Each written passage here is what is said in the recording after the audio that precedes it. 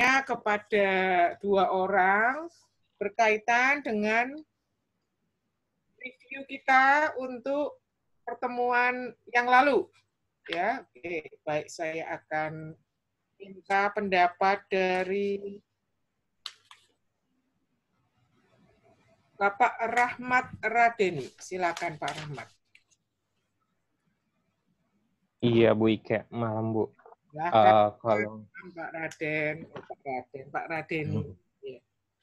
Ya. Bu, kalau kita ngelihat minggu kemarin itu kita ngepelajarin tentang marketing strategi dan kompetitif competitive positioning ya. Uh, kalau yang kita lihat kan uh, sebenarnya fokusnya itu perusahaan itu lebih baik fokus ke uh, fokus ke pasar Nah, kayak seperti uh, Ibu bilang kan ada kayak marketing strategi itu uh, marketing strategi developing itu mengisi kesenjangan antara dua titik di mana posisi kita sekarang dan di level mana kita akan menuju.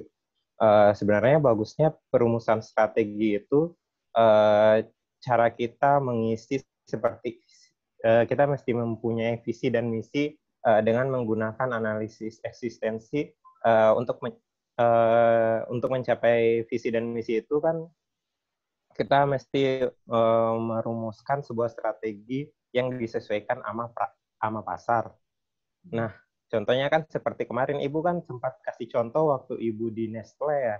Uh, orang Nestle kan sempat bilang ya kopinya kopi apa kopi Nescafe itu kan uh, dia jadi pemimpin pasar padahal kan mesti di fokuskan lagi tuh kalau ngomong kopi itu kopi mana apa soalnya kan kalau dilihat orang Indonesia itu kan ternyata banyak juga yang minum kopi kopi tubruk ya bu.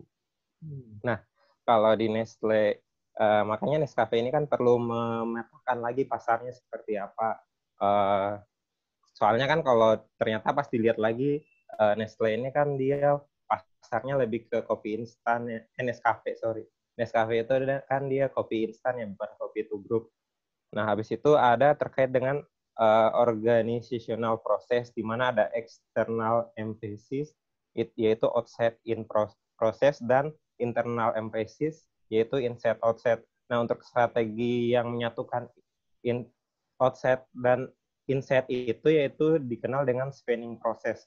Namun uh, dalam hal ini ada uh, terkait dengan hal-hal yang tidak match dalam perumusan outside dan inside-nya itu di mana ada strategi alliance di yaitu uh, untuk mencari kemitraannya. Dan ada lagi istilah the second best opportunity karena uh, tidak punya sumber dayanya. Makanya kita mesti menyediakan sebuah plan C gitu ya. Uh, terus kalau kita ngelihat lagi kan uh, ada lagi istilah yang dinamakan istilah uh, distin, distinctive capabilities di mana uh, capabilities ini kemampuan bisnis untuk keunggulan kompetitif perusahaan yang sulit di uh, replika oleh perusahaan lain ya yang ditekankan di sini seperti uh, value proposition yang diciptakan perusahaan uh, yaitu fokus ke keunikannya.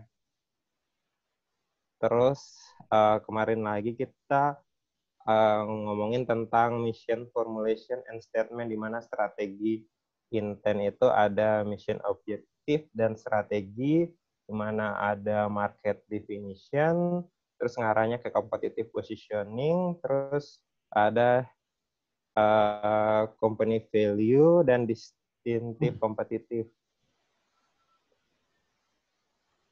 terus ada juga terkait dengan uh, market strategi proses di mana mulai dari uh, bisnis proses terus masuk ke core strategi terus competitive positioning terus mengarah ke implementation dan marketing mix.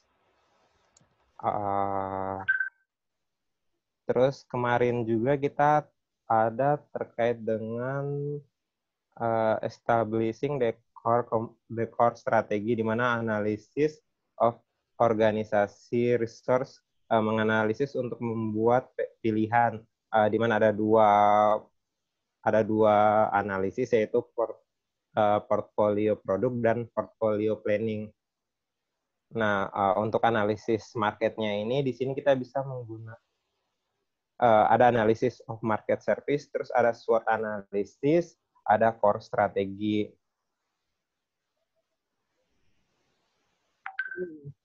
Cukup Bu. Baik, terima kasih uh, Pak Radeni. Ya, kemarin kalau tidak salah bab dua ini kita tutup dengan suatu mungkin eksplorasi berkaitan dengan beberapa framework yang bisa kita gunakan untuk merumuskan strategi. Satu adalah uh, dari Michael Porter, three generic strategies-nya Michael Porter, dan juga ada yang namanya value discipline positioning. Nah, apakah ada Bapak Ibu yang mengeksplor tentang dua hal tersebut untuk strateginya Porter yang uh, three generic strategies dan value discipline positioning dari Tracy dan Wiserman. Silakan coba. Ya, ini saya sedang akan memberi Mau poin. coba jawab, Bu? Oh ya. Pak siapa? Siapa dulu nih? Pak Arif ya? Saya. Oh ya, boleh Bu. Siapa? Ya, oke, Pak Arif. Nanti setelah itu siapa tadi? Dia ya. Iya Bu, iya. Oke, ya Arif dulu. Silakan Pak Arif. Iya, jadi kalau nggak salah, kalau nggak salah mana aku sempat catat sih. Cuman di catatan ini, eh, apa, kasar doang sih. Kemarin kalau nggak salah ada tiga pertanyaan Bu ya, tentang generik eh, strategi Porter Bu ya. Ya, Nah ini eh, untuk strategi generik ini ada tiga, dibagi tiga. Yang pertama itu eh, cost leadership. Nah, cost leadership ini berkaitan eh, dengan eh, menekankan pada upaya produksi standar dengan biaya per unit yang relatif eh, sangat rendah. Tujuannya biasanya nih kepada konsumen yang relatif mudah terpengaruh oleh pergeseran harga atau meng- menggunakan harga dengan faktor penentu keputusan. Kemudian dari sisi eh, perilaku pelanggan, strategi cost leadership ini eh, itu sangat sesuai dengan kebutuhan pelanggan yang termasuk dalam kategori perilaku low involvement. Jadi ketika konsumen itu eh, nggak terlalu peduli terhadap perbedaan merek ya, nah ini tidak membutuhkan pem- pembedaan suatu produk tersebut. Nah kemudian strategi kedua itu eh, di diferensiasi. Nah ini eh, tujuannya untuk men- mendorong perusahaan untuk sanggup menemukan keunikan tersendiri pada pasar yang jadi sasarannya. Kemudian eh, keunikan dari strategi ini yaitu memungkinkan suatu perusahaan untuk menarik minat sebesar-besarnya dari konsumen poten- potensialnya. Kemudian cara pembedaan produk ini bervariasi ke pasar eh, antar pasar ke pasar, tetapi berkaitan dengan sifat dan atribut fisik suatu produk atau pengalaman kepuasan. Jadi eh, pelanggan itu langsung melihat produk tersebut gitu. Jadi supaya lebih puas menikmati eh, produk yang diproduksi oleh perusahaan tersebut. Nah, eh, kemudian yang ketiga ini eh, strategi fokus itu bisa digunakan untuk membangun eh, competitive ad- advantage dalam suatu segmen pasar yang lebih sempit. Nah, ini tujuannya itu untuk melayani kebutuhan konsumen yang jumlahnya relatif kecil. Dan pengambilan keputusannya ini eh, biasanya tidak dipengaruhi oleh harga. Nah, eh, biasanya sih digunakan untuk pemasok yang bersegmen khusus atau niche market. ya. Kemudian untuk yang kedua ini ada value discipline positioning ya dari Tracy dan Wirs. Iya. Wirsema ya Bu ya. betul. Nah, ini terbagi tiga, Bu. Eh, secara umum nih ada operational excellence, product leadership, dan customer intimacy. Untuk operational excellence sendiri itu eh, spesifiknya dia pende- pendekatannya itu kepada produksi dan penyampaian suatu produk dan jasa. Eh, kemudian eh, suatu perusahaan eh, jika menggunakan strategi ini itu tidak kenal untuk mencari cara bagaimana eh, meminimalisir kelebihan biaya. Terus kemudian menghilangkan langkah lanjutan pada produksi, mengurangi transaksi, dan mengoptimasi proses bisnis. Eh, fokus pada perusahaan ini yaitu memberikan produk dan jasanya dengan harga yang kompetitif tetapi dengan kualitas yang lebih baik. Nah ini contohnya ini eh, Walmart ya, contoh eh, untuk operational excellence. Kemudian product leadership ini strategi ini apa namanya tujuannya untuk menciptakan produk dan jasa yang inovatif Nah, uh, biasanya mereka ini uh, harus dua sampai tiga kali harus berpikir uh, kreatif untuk menciptakan produk yang lebih bagus gitu ya dibanding kompetitor yang lainnya. Contohnya ini uh, kita bisa lihat tuh uh, Samsung ya, yang hampir dia punya apa namanya uh, inovasi sendiri di uh, smartphone-nya itu. Nah kemudian ini yang paling uh, penting ini yang ketiga nih customer intimacy, yaitu uh, apa namanya pendekatan uh, produk atau jasa untuk meningkatkan kepercayaan pelanggan. Nah, ini contohnya ini uh, bank ya. Jadi bank itu kan punya suatu produk misalnya asuransi atau misalnya KTA gitu ya. Jadi kan uh, apa namanya sama nasabahnya ini harus intim gitu. Jadi harus lebih dekat supaya produk itu bisa laku. Hmm. Kemudian yang pertanyaan ketiga ini kalau nggak salah Blue Ocean strategis ya Bu ya. Iya.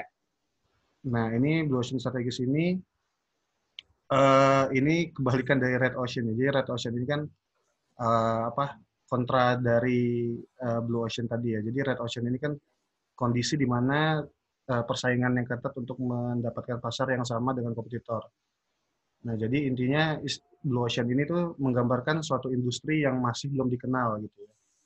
Uh, terbentuk karena uh, ada ruang yang belum dimanfaatkan oleh si industri uh, tersebut sehingga peluangnya itu sangat menguntungkan gitu. Hmm. Jadi itu mungkin tiga uh, apa namanya uh, teori yang bisa dipaparkan, Bu. Ya, uh, bagus sekali ya Pak Arif Aulia. Jadi Bapak Ibu sekalian ini kita akan melihat betapa framework itu disediakan untuk bisa kita gunakan dan bisa kita pilih. Ya, seperti yang saya katakan, akhirnya yang menentukan adalah wisdom kita untuk memilih mana yang akan menghasilkan competitive positioning. Nah, framework-framework ini akan sangat membantu bagi kita untuk menentukan ya dan mengevaluasi yang nantinya dipilih. Ya, ini masalah uh, ilmu ekonominya sebetulnya adalah ilmu untuk memilih, ya enggak ya. Dengan sumber daya tertentu kita akan menghasilkan dampak yang paling optimal. Ya, ini yang disebut dengan ilmu ekonomi dan sekaligus di pemasaran kita juga menentukan bahwa tentu saja dari berbagai macam pilihan kita harus menentukan mana pilihan yang terbaik.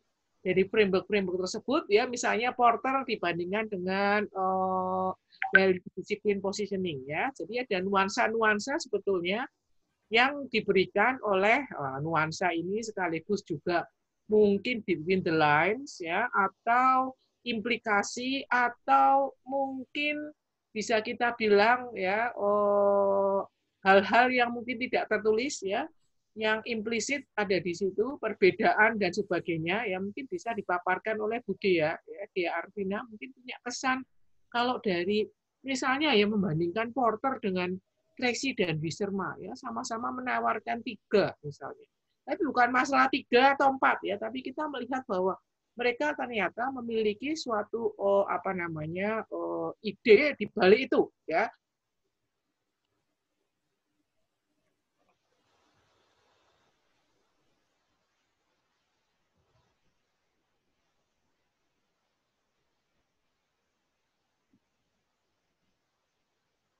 Ya.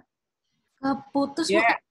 Oh ya baik, silakan Budi Arvina mau menyampaikan sesuatu karena tadi uh, juga ingin memberikan ulasan ya tentang tentang tiga framework yang bisa kita gunakan. Ya Bu, kalau dari oh, mohon maaf Bu, bisa sepertinya terpaus. Oh oke. Okay. Oh iya. Bisa, bisa mendengar saya ya? Bisa Bu, bisa Bu. Tapi tadi ya. agak nge-lag gitu sepertinya Bu. Oh ya baik, silakan langsung berpendapat.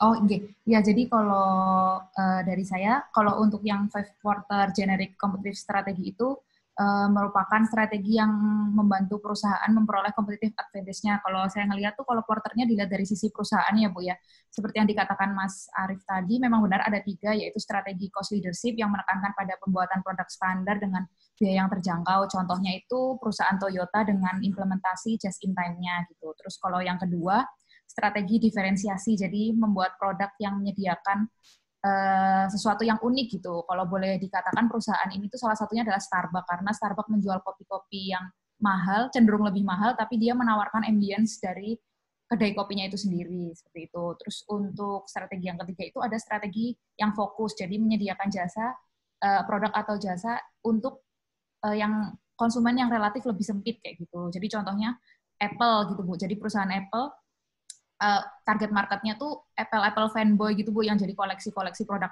Apple gitu. Jadi yang relatif lebih sempit seperti itu. Tapi kalau untuk value discipline positioning itu bisa dilihat dari identifikasi segmen pasarnya gitu. Jadi dilihat dari pemakainya.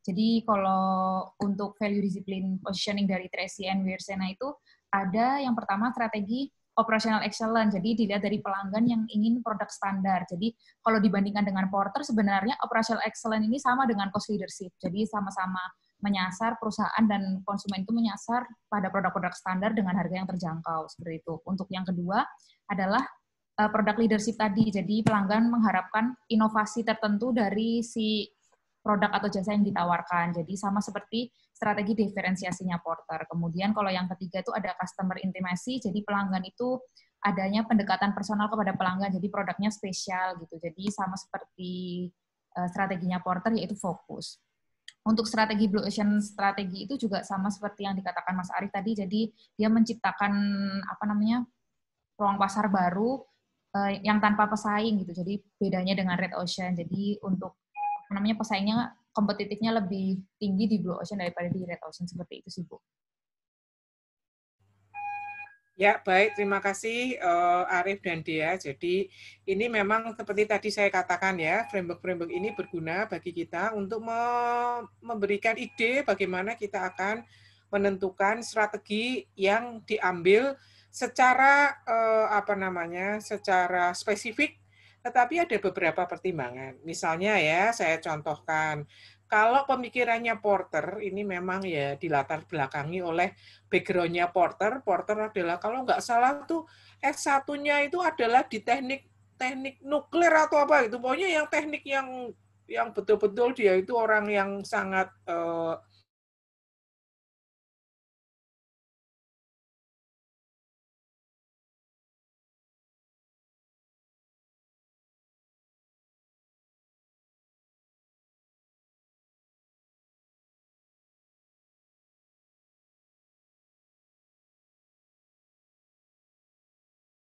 di bukunya Porter eh, beliau mengatakan bahwa pilih salah satu dari salah satu dari tiga strategi ini atau stuck in the middle.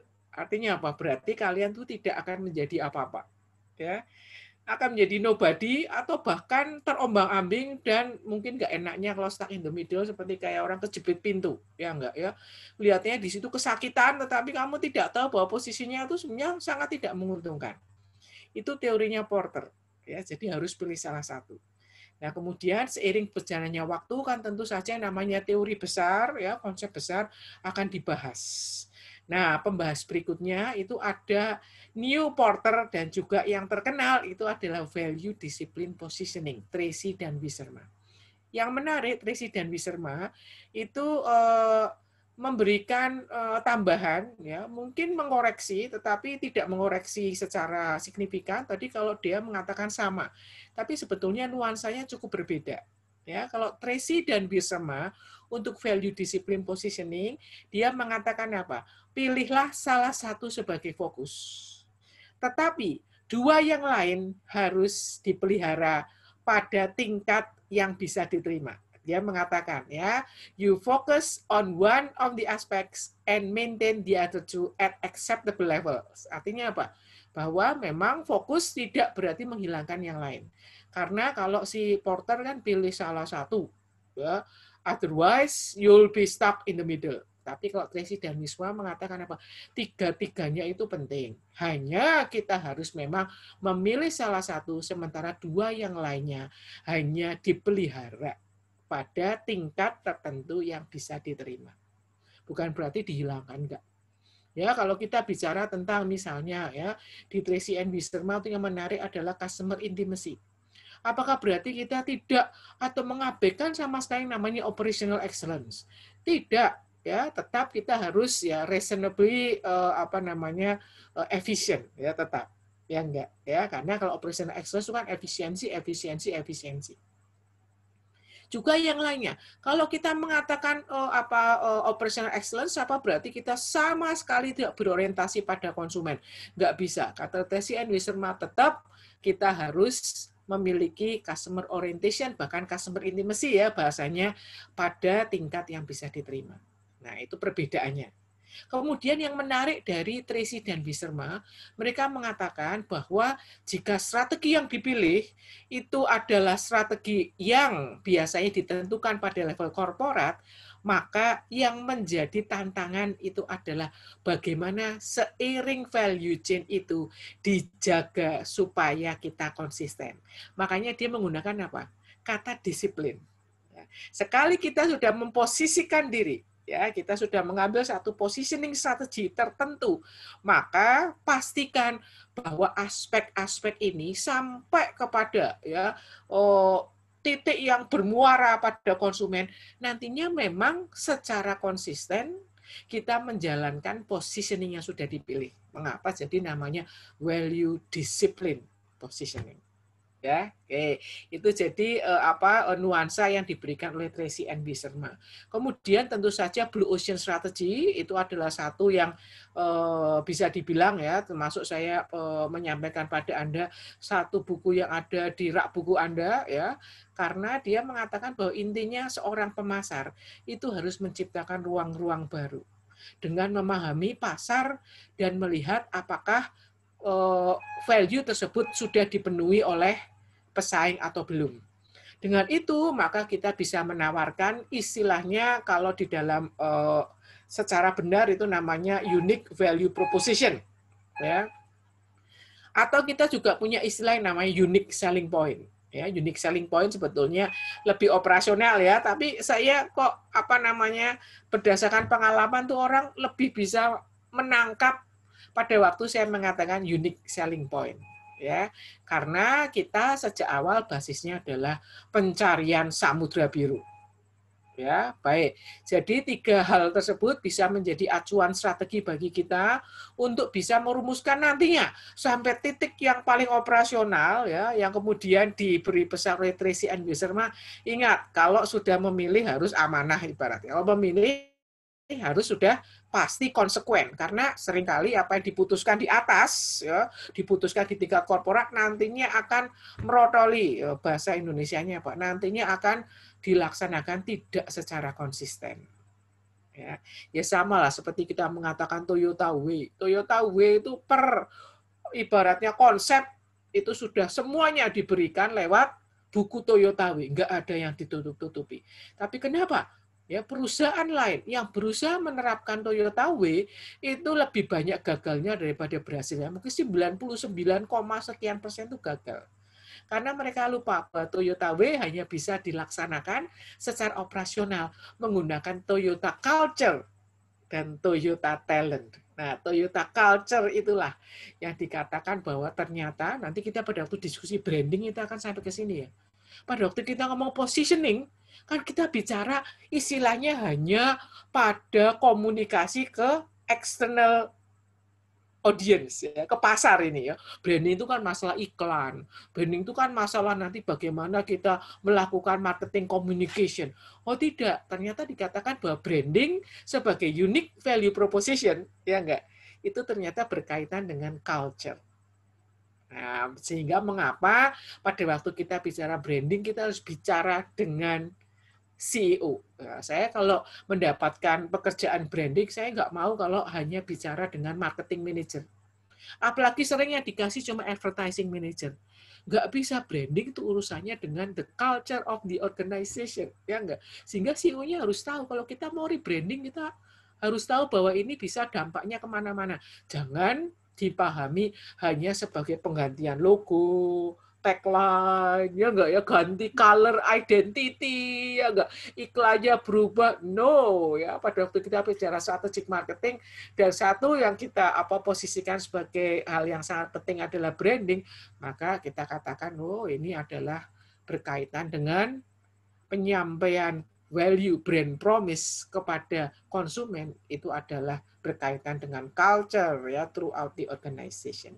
Oke, baik. Jadi kita sudah paham sekali untuk pemilihan strategi yang nantinya pasti akan eh, memberikan nuansa ya pada perumusan strategi setelah kita belajar ini dan pada apa nanti prakteknya yang sudah eh, mungkin terbukti atau sedang dilakukan oleh Anda sekalian di perusahaan masing-masing atau di perusahaan Anda di masa yang akan datang.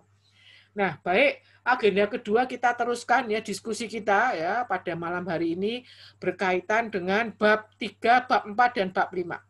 Ya, karena bab 3 menjadi PR kita karena harusnya minggu eh maaf dua minggu yang lalu ya. Tapi belum selesai, kita lihat apa yang kita lihat di bab 3 semuanya boleh membuka bukunya masing-masing ya. Bab 3 ini sebetulnya ngomongin apa? Ya, Bentar, saya lihat dulu bab 3. Oke.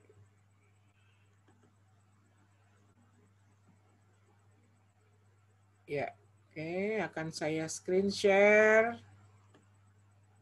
Bab 3 sama seperti di buku Anda ya. Bab 3 yang berisi the changing market environment. Ya. Dan seperti biasa, Anda sudah bisa melihat screen yang saya share ya sekarang ya. Ya, oke, okay, baik. Nah, di sini kita lihat ya ada bagian introduction yang selalu saya tekankan. Buku yang bagus ya dan cara kita menyusun argumentasi itu di bagian pendahuluan menunjukkan nilai penting ya nilai strategis apa yang akan kita bicarakan.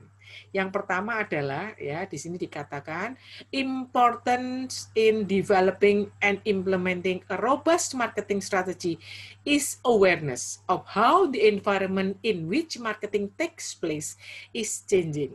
Nah, ini ternyata menjadi satu oh, apa namanya argumentasi awal untuk bicara tentang uh, bab ini ya. Yang kedua, kedua dan ketiga, coba dilihat. Industry and markets are not the same thing. Industry-based competition versus market-based competition. Jadi perspektif yang ingin dibangun seperti saya sudah sebutkan kalau nggak salah ya dua minggu yang lalu ya. Suatu pendekatan di mana pada waktu kita mendefinisikan semuanya itu harus dasarnya adalah persepsi pasar. Bukan persepsi maaf bukan kategori produk bukan kategori di mana kita mendefinisikan yang namanya industri. Ingat industri terdiri dari uh, produsen yang menghasilkan produk yang sama ya. Dasarnya adalah kategori produknya. Padahal itu bisa saja sangat misleading ya. Kategori produk belum tentu mendefinisikan persaingan yang kita hadapi. So, kita sudah diskusi panjang lebar dua minggu yang lalu lah ya berkaitan dengan kategori produknya Milo ya enggak ya Milo itu adalah uh, malt extract drink yang tidak dipahami oleh konsumen Indonesia. Di konsumen Indonesia itu adalah susu coklat ya enggak ya. Nah ini kasus yang sama ya dan jangan heran bahwa sampai saat ini kita sering sekali masuk ke dalam jebakan bahwa pendefinisian pesaing itu dilihat dari kategori produk Ya, padahal pesaing itu bisa datang dari mana-mana. Saya juga pernah cerita pada Anda, mungkin di pertemuan pertama ya, pada waktu ada yang menanyakan apa sih sebetulnya relevansi untuk kita bicara yang namanya market led atau market driven strategy. Ya, kita bisa berikan contoh misalnya Bluebird, ya enggak? Bluebird pada waktu mendefinisikan persaingan, mereka mendefinisikan dirinya dalam industri pertaksian, ya enggak? Industri ini adalah industri taksi ya karena memang berdasarkan kategori ya kategori yang dibuat oleh kementerian ya kementerian perdagangan ya, maka yang namanya eh, Bluebird itu masuk industri taksi. Nah, pada waktu definisinya adalah industri pertaksian, maka mereka merasa sebagai market leader ya enggak mau apa lagi? Ya pesaingnya siapa? Pesaingnya mungkin Kosti ya Borobudur apalagi lah itu ya bla bla bla bla.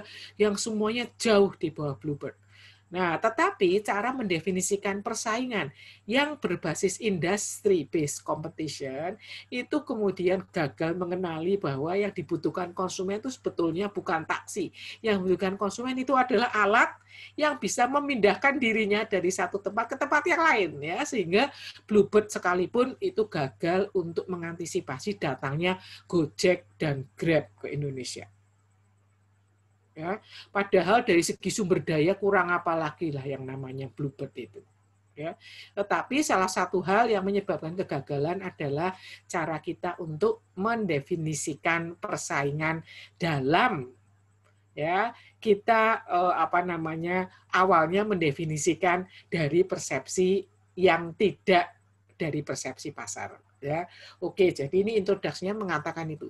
Kalau kita sudah di bagian awal di bab tiga ini ya, keliru dalam mendefinisikan persaingan, maka strategi berikutnya pasti juga keliru juga, ya enggak ya? Tahu ya maksudnya mengapa bagian ini ditaruh di bab yang sangat awal ya, di bab tiga.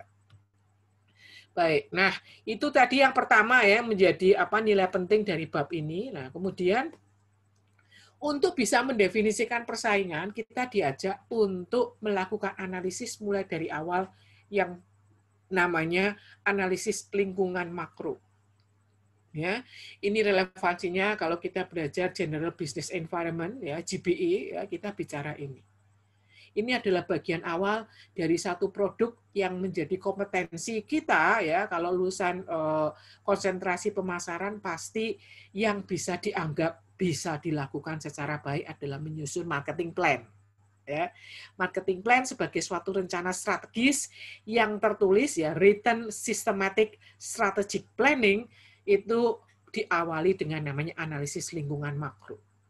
Ya, supaya apa? Kita bisa mendapatkan secara utuh, secara komprehensif dan bisa mengantisipasi apa perubahan-perubahan yang sedang dan akan terjadi.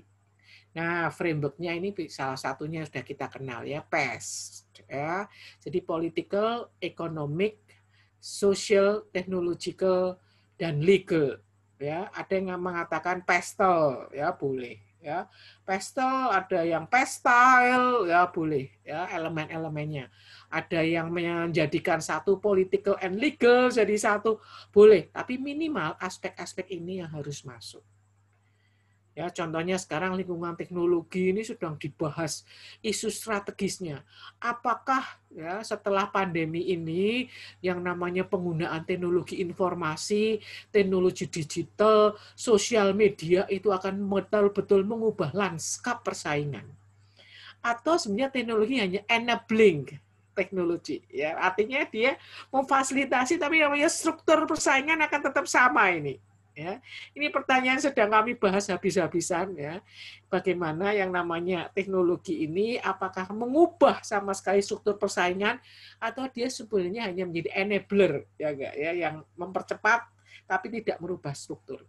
Dan nanti ada kaitannya dengan eh, video yang sudah saya berikan pada Anda ya. Ada kaitannya juga dengan bab berikutnya nanti akan kita pelajari. Baik, style ya yang kemudian diuraikan. Kalau bicara tentang lingkungan ekonomi, apa saja yang harus dianalisis. Buku ini memberikan ide bagi kita. Oh, yang namanya lingkungan ekonomi, ini isinya analisis atas eh, berapa ini, berapa aspek. Minimal atas tujuh aspek ini. Ya. Ingat bahwa ini adalah bagian pertama dari suatu rencana yang menjadi kompetensi kita yaitu marketing plan. Ya. Marketing plan diawali dengan yang namanya analisis atas lingkungan makro, ya, external environment analysis atau macro environment analysis. Ya. Dan pertama lingkungan ekonomi isinya apa? Ya, ini memberikan daftar bagi kita lah ya siapa tahu ya kan satu bisa kemungkinannya tesis anda dalam marketing plan ya atau yang kedua yang jelas adalah kompetensi yang ditunjuk. Harus ya ibaratnya ini kalau semua lulusan MBA untuk uh, untuk marketing pasti harus bisa namanya menyusun marketing plan ya baik. Kemudian social and cultural environment itu isinya apa saja? Ini sebagai contoh. Satu adalah tentang analisis terhadap struktur demografis usia, jenis kelamin, pertumbuhan penduduk, berapa pasar muda, berapa pasar untuk senior citizens ya. Di sini katakan the gray market ya atau silver atau uh, sebetulnya berapa komposisi dari orang tua ya dan seterusnya. Kemudian kita lihat multi ethnic societies ini juga kita analisis ya. Bagaimana struktur perubahan karena kita tahu bahwa sekarang dunia itu adalah seperti dikatakan global village ya enggak ya terjadi percampuran begitu banyak etnis yang mungkin bisa merubah struktur dan bisa merubah perilaku dari masyarakat. Nah, yang terakhir ini yang penting adalah changing lifestyles and living patterns. Ya. Perubahan-perubahan apa yang bisa kita lihat dan kita antisipasi. Karena inilah nanti yang menjadi dasar bagi kita untuk merumuskan eh, apa unique value proposition ya kan pasti harus relevan ya oke baik Nah, kemudian ini ada contoh saja ya, saya mencontohkan ada satu buku ya yang cukup menarik. Ini judulnya adalah Global Paradox ya. 10 megatrends shaping the consumer landscape ya. Ini dikarang oleh satu pengarang yang sangat terkenal John Naisbitt ya yang beliau pernah menjadi pembicara yang luar biasa di UGM saya ingat tahun 90-an tapi ya zaman abad yang lalu lah. Mungkin beberapa dari Anda belum lahir ya. Oh sudah ya sudah ya kalau 90-an ya. Nah ini di buku ini dikatakan ini loh yang namanya perubahan-perubahan ya atau megatrends. Megatrends itu adalah perubahan yang terjadi dalam jangka panjang masa depan dunia ini ya dia berargumentasi bahwa yang namanya aging boomers ya boomers itu adalah eh, baby boomers eh, apa generasi di Amerika pada zaman perang Vietnam itu sudah mulai menua ya betul delayed retirements karena orang menjadi semakin sehat maka yang namanya umur pensiun sebetulnya tidak lagi seperti yang kita bayangkan di masa yang lalu. Sekarang umur 70-an masih sehat. Ya. Calon Presiden Amerika Serikat Joe Biden malah usianya 77. Ya. Calon nomor satu Amerika. Ya. Donald Trump itu yang baru kena COVID ya itu 72. Ya. Jadi orang tua sekarang juga wah ternyata menjadi segmen yang sangat potensial ya oke nah beberapa hal termasuk yang relevan bagi kita ini greater educational attainment ya jadi ternyata memang mahasiswa itu kembali lagi untuk mengambil program S2 ya maaf eh, para eh, profesional seperti Anda kembali ke kampus untuk mengambil gelar S2 itu adalah satu yang sudah diramalkan oleh John Naisbitt ya greater educational attainment ya. Dan juga seperti saya katakan mungkin Anda akan kembali lagi untuk mengambil S3 ini dalam waktu dekat ya. Mungkin nanti Bu Ayu setelah kerja ya beberapa tahun wah ketemu lagi. Wah ngapain Bu Ayu? Oh ngambil DBA Bu Doctoral of Business Administration. Dan itu adalah bukan suatu hal yang wah ya angan-angan ya. Ternyata memang sudah diramalkan oleh John Naisbitt ya. Dan bla bla bla. Ini adalah yang uh, menjadi tugas orang pemasar karena dikatakan seorang pemasar we serve at the boundary function ya. Jadi yang tahu tentang konsumen, tahu tentang pesaing itu adalah seorang marketer. Ya, sehingga mengapa hal-hal ini harus kita pelajari dengan baik. Nah, ini ada beberapa hal yang kita lihat ya, strategi-strategi misalnya tentang domestic focus, global focus, coba lihat. Focus on core competency dan bagaimana kita justru semakin terdiversifikasi dengan portfolio approach. Ini adalah satu strategi yang dibuat oleh Chef ya, yang kemudian kita melihat yang namanya new strategic imperative. Itu pada coba lihat ya, panahnya ke atas ya. Ini argumentasinya Chef sih. Kita bicara, kita sudah beralih dari domestic focus dan portfolio approach menuju pada global focus and focus on core competencies. Jadi dikatakan oleh Syed nantinya kita harus menjadi ahli di suatu hal. Nggak bisa ahli di banyak hal. Harus punya yang namanya core competence. ya enggak ya. Dia mengatakan untuk bisa bersaing di level global, kita harus super ahli di suatu hal tertentu. Itu yang dikatakan oleh Shetz. Ya. Nah, kita bisa ya mengexercise hal ini. Betul enggak ya? Untuk menjadi somebody ya bukan menjadi nobody ya. Untuk menjadi somebody kita memang harus memiliki core competence. Ini nanti juga berdampak pada perumusan strategi yang sedang kita lakukan ya. Misalnya kemarin ya ada satu hal yang menarik yang kami diskusikan di kelas Jogja.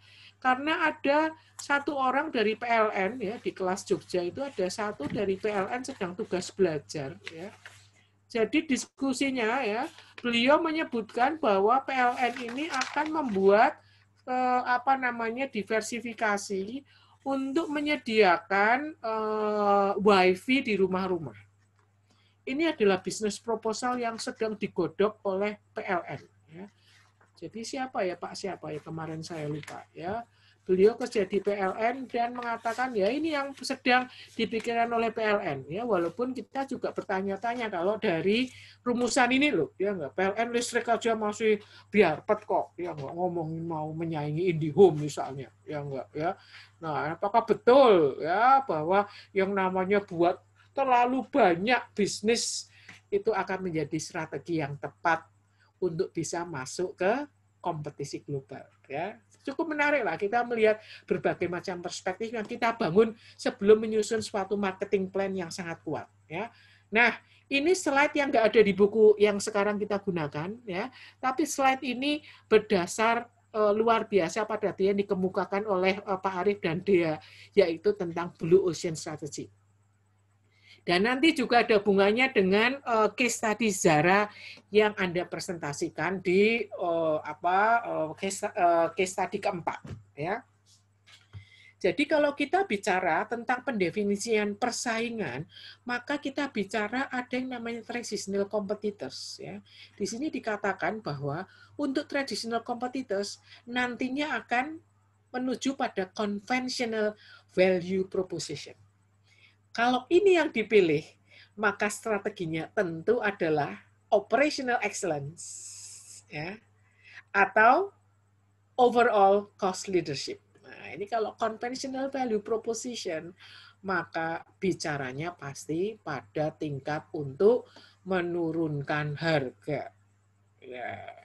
Oh iya kemarin saya jadi ingat ya kenapa apa yang kita bicarakan ini eh, saya kaitkan dengan pada waktu kita bicara video tentang outside in perspektif.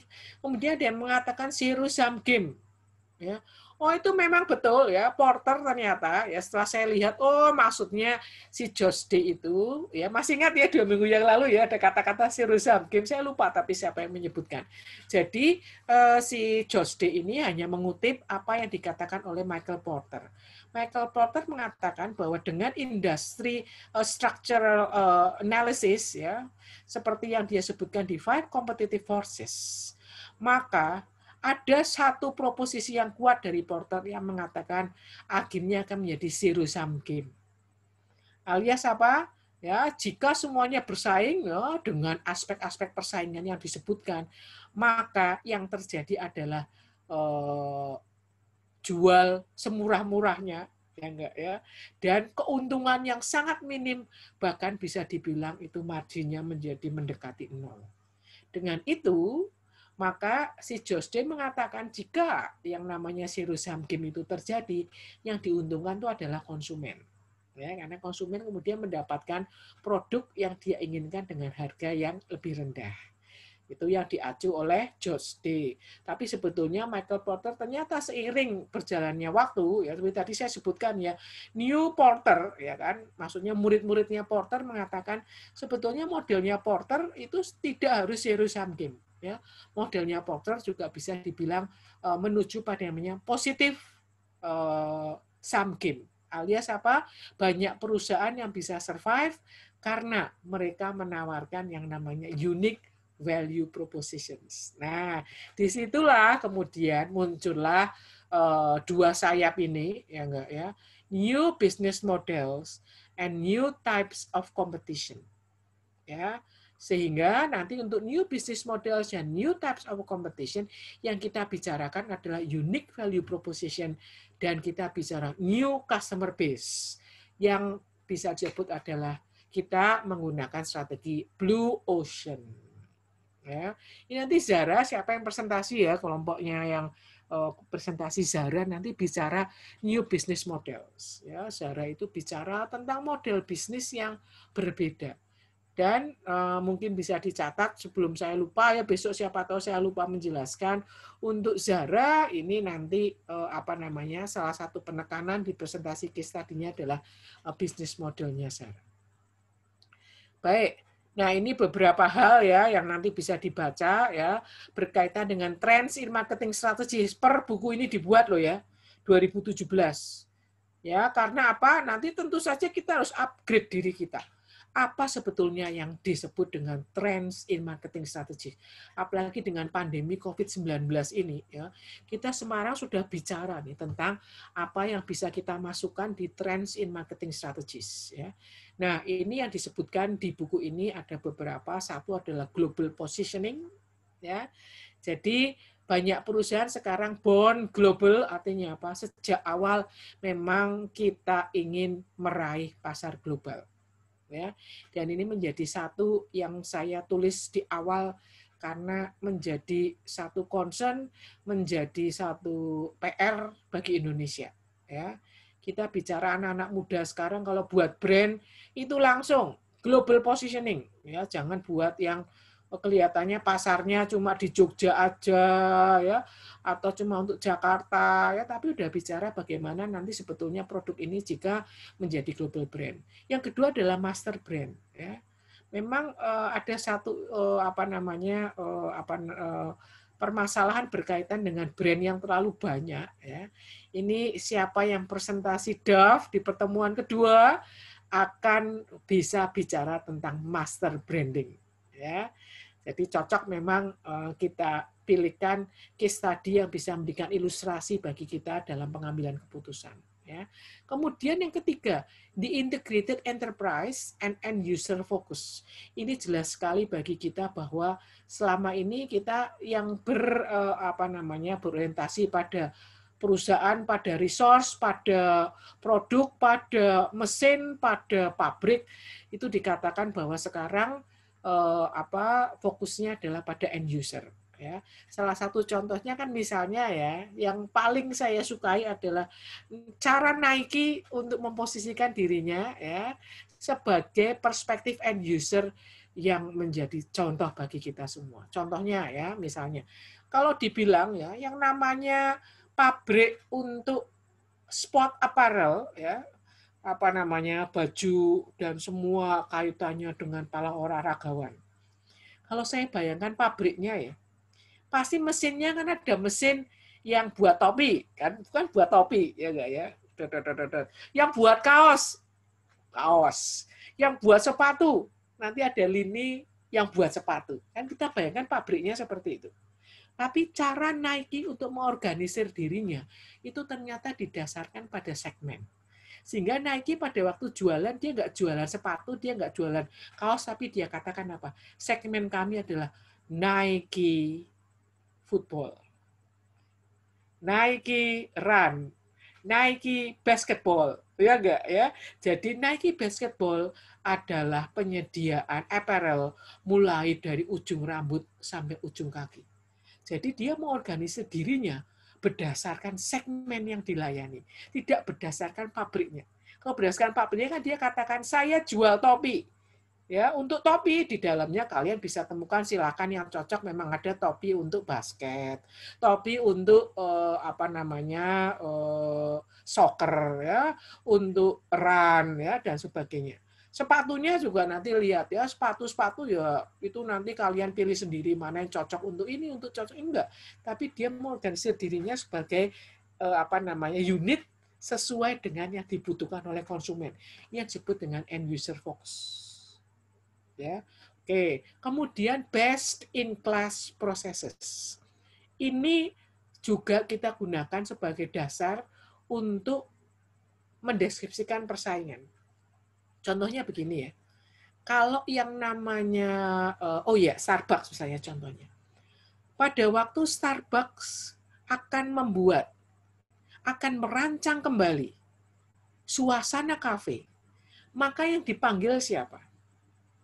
Yang dipanggil adalah Marriott. Ya, Marriott kita tahu itu adalah industri perhotelan. Tapi kata Starbucks apa?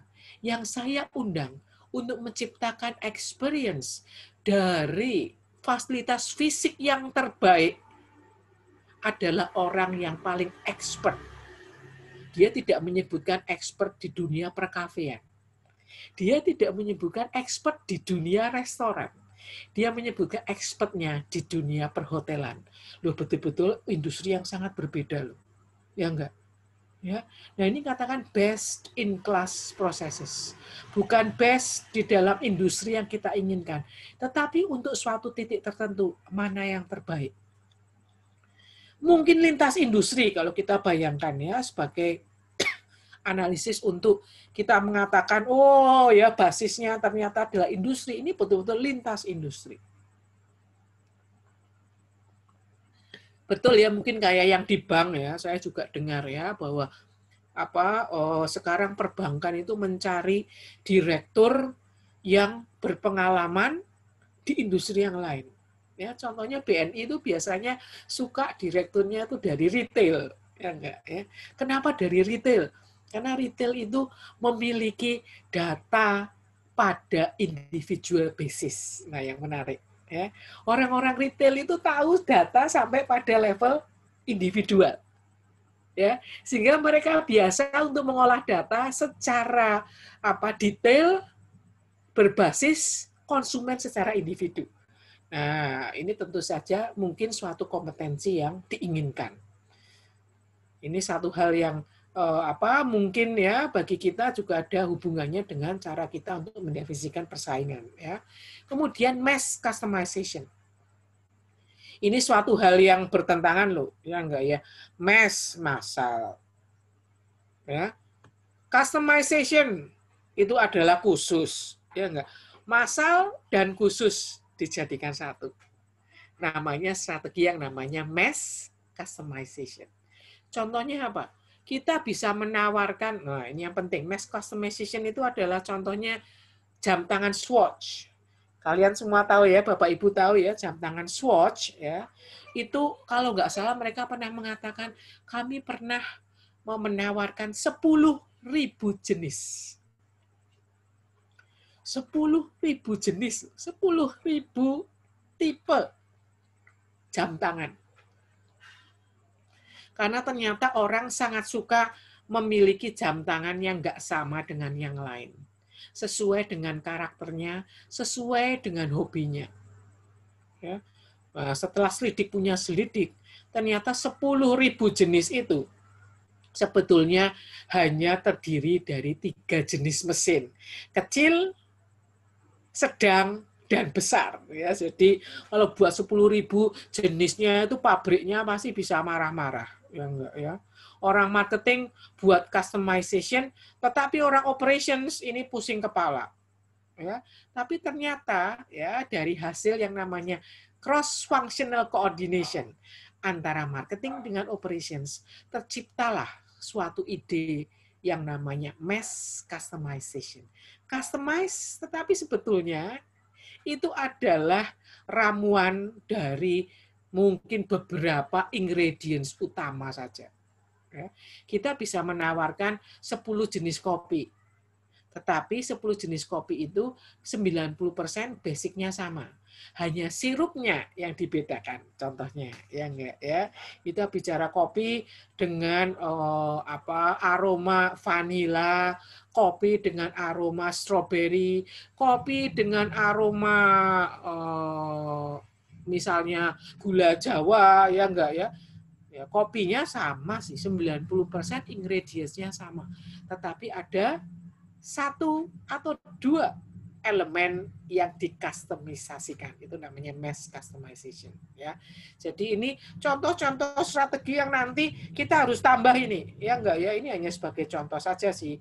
Nanti kita bisa menambahkan dari akumulasi kita ya misalnya ya nanti ada kita baca Harvard Business Review bagaimana antisipasi kita tentang uh, perubahan yang terjadi karena pandemi COVID-19 ini.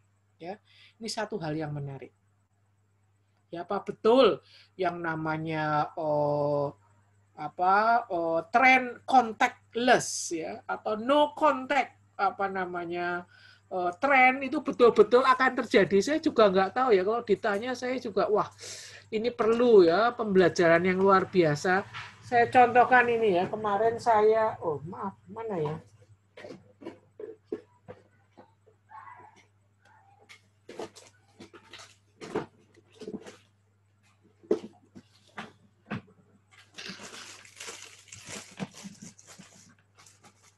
Nah, saya mau beri contoh malah contohnya hilang. Ya udah lain kali ya, maaf ya. Ya oke okay. ya intinya adalah trends in marketing strategies ini adalah hanya contoh ya. Nah, kita nanti mungkin dari diskusi atau nanti kita apa simpulkan oh, mungkin kita usulkan di diskusi di perusahaan ini loh ya yang namanya trends. Baik. Porter ini muncul di depan kita ya, tidak akan saya bahas. Cuma kalau dilihat fotonya memang ini orangnya kelihatannya pinter ya. Ya, matanya saja bersinar-sinar ini kelihatannya cerdas sekali memang orangnya. Ya, baik tidak saya bahas ini karena tadi sudah dijelaskan dengan sangat baik oleh teman-teman dan kita semuanya tahu ya tentang uh, five competitive forces-nya Michael Porter. Oke. Jangan lupa ada satu alat yang juga bisa kita gunakan untuk menganalisis namanya product life cycle ya. Yang sudah kita ketahui bahwa alat analisis ini menunjukkan tahapan dari introduction, growth, maturity and decline. Ya. Nah, tentu saja setiap tahapan membutuhkan konsekuensinya masing-masing. Misalnya ya kalau produk baru dalam tahap introduction dia pasti harus membutuhkan dukungan sumber daya yang sangat besar di introduction. Kita nggak bicara tentang profit di introduction. Ya. Nah, sehingga pentingan ini gambarnya antara hijau dengan merah ya. Bahwa kita mengkomunikasikan ini kepada departemen yang lain tentu saja bahwa status produk konsekuensi sumber daya apa yang dibutuhkan kalau bicara tentang growth, maka kita sudah bicara tentang profit yang sudah naik. Ya. Nah, ini sudah mulai kelihatan. Dan kalau kita bicara maturity, maka kita bicara tentang sales yang sudah uh, ibaratnya datar ya, tapi masih tinggi, tetapi profitnya sudah mulai menurun. Ya. Oke. Kemudian tahap decline. Nah, di tahap decline ini kita mendapatkan tanda-tanda zamannya bahwa salesnya sudah mulai menurun, profitnya sudah mulai menurun, dan di sinilah nanti ada beberapa keputusan strategis yang harus kita ambil. Apakah dia mau dimatikan atau dia mau dibangkitkan ya dengan uh, fresh and exciting ideas, mau direposisi, mau di apa namanya diganti ya dan sebagainya ini untuk tahap decline. Atau bahkan sebenarnya keputusan itu sudah muncul pada waktu maturity. Ya enggak ya sudah siap-siap. Sebelum decline sudah kita siapkan Baik, ini contoh ya. Walaupun nanti bisa dicari deh ya, Bapak Ibu sekalian kalau kemudian kita bicara tentang beberapa model, maka kita juga bisa menganalisis seperti tadi saya contohkan ya. Kita bicara Porter, dia punya 3D generic strategies. Tracy and Wisterma, dia punya value discipline positioning. Ya tiga juga. Ya. Tapi apa bedanya ya, nuansanya ya? Ya itu perlu kita pelajari mendalam ya. Kemudian kayak produk life cycle.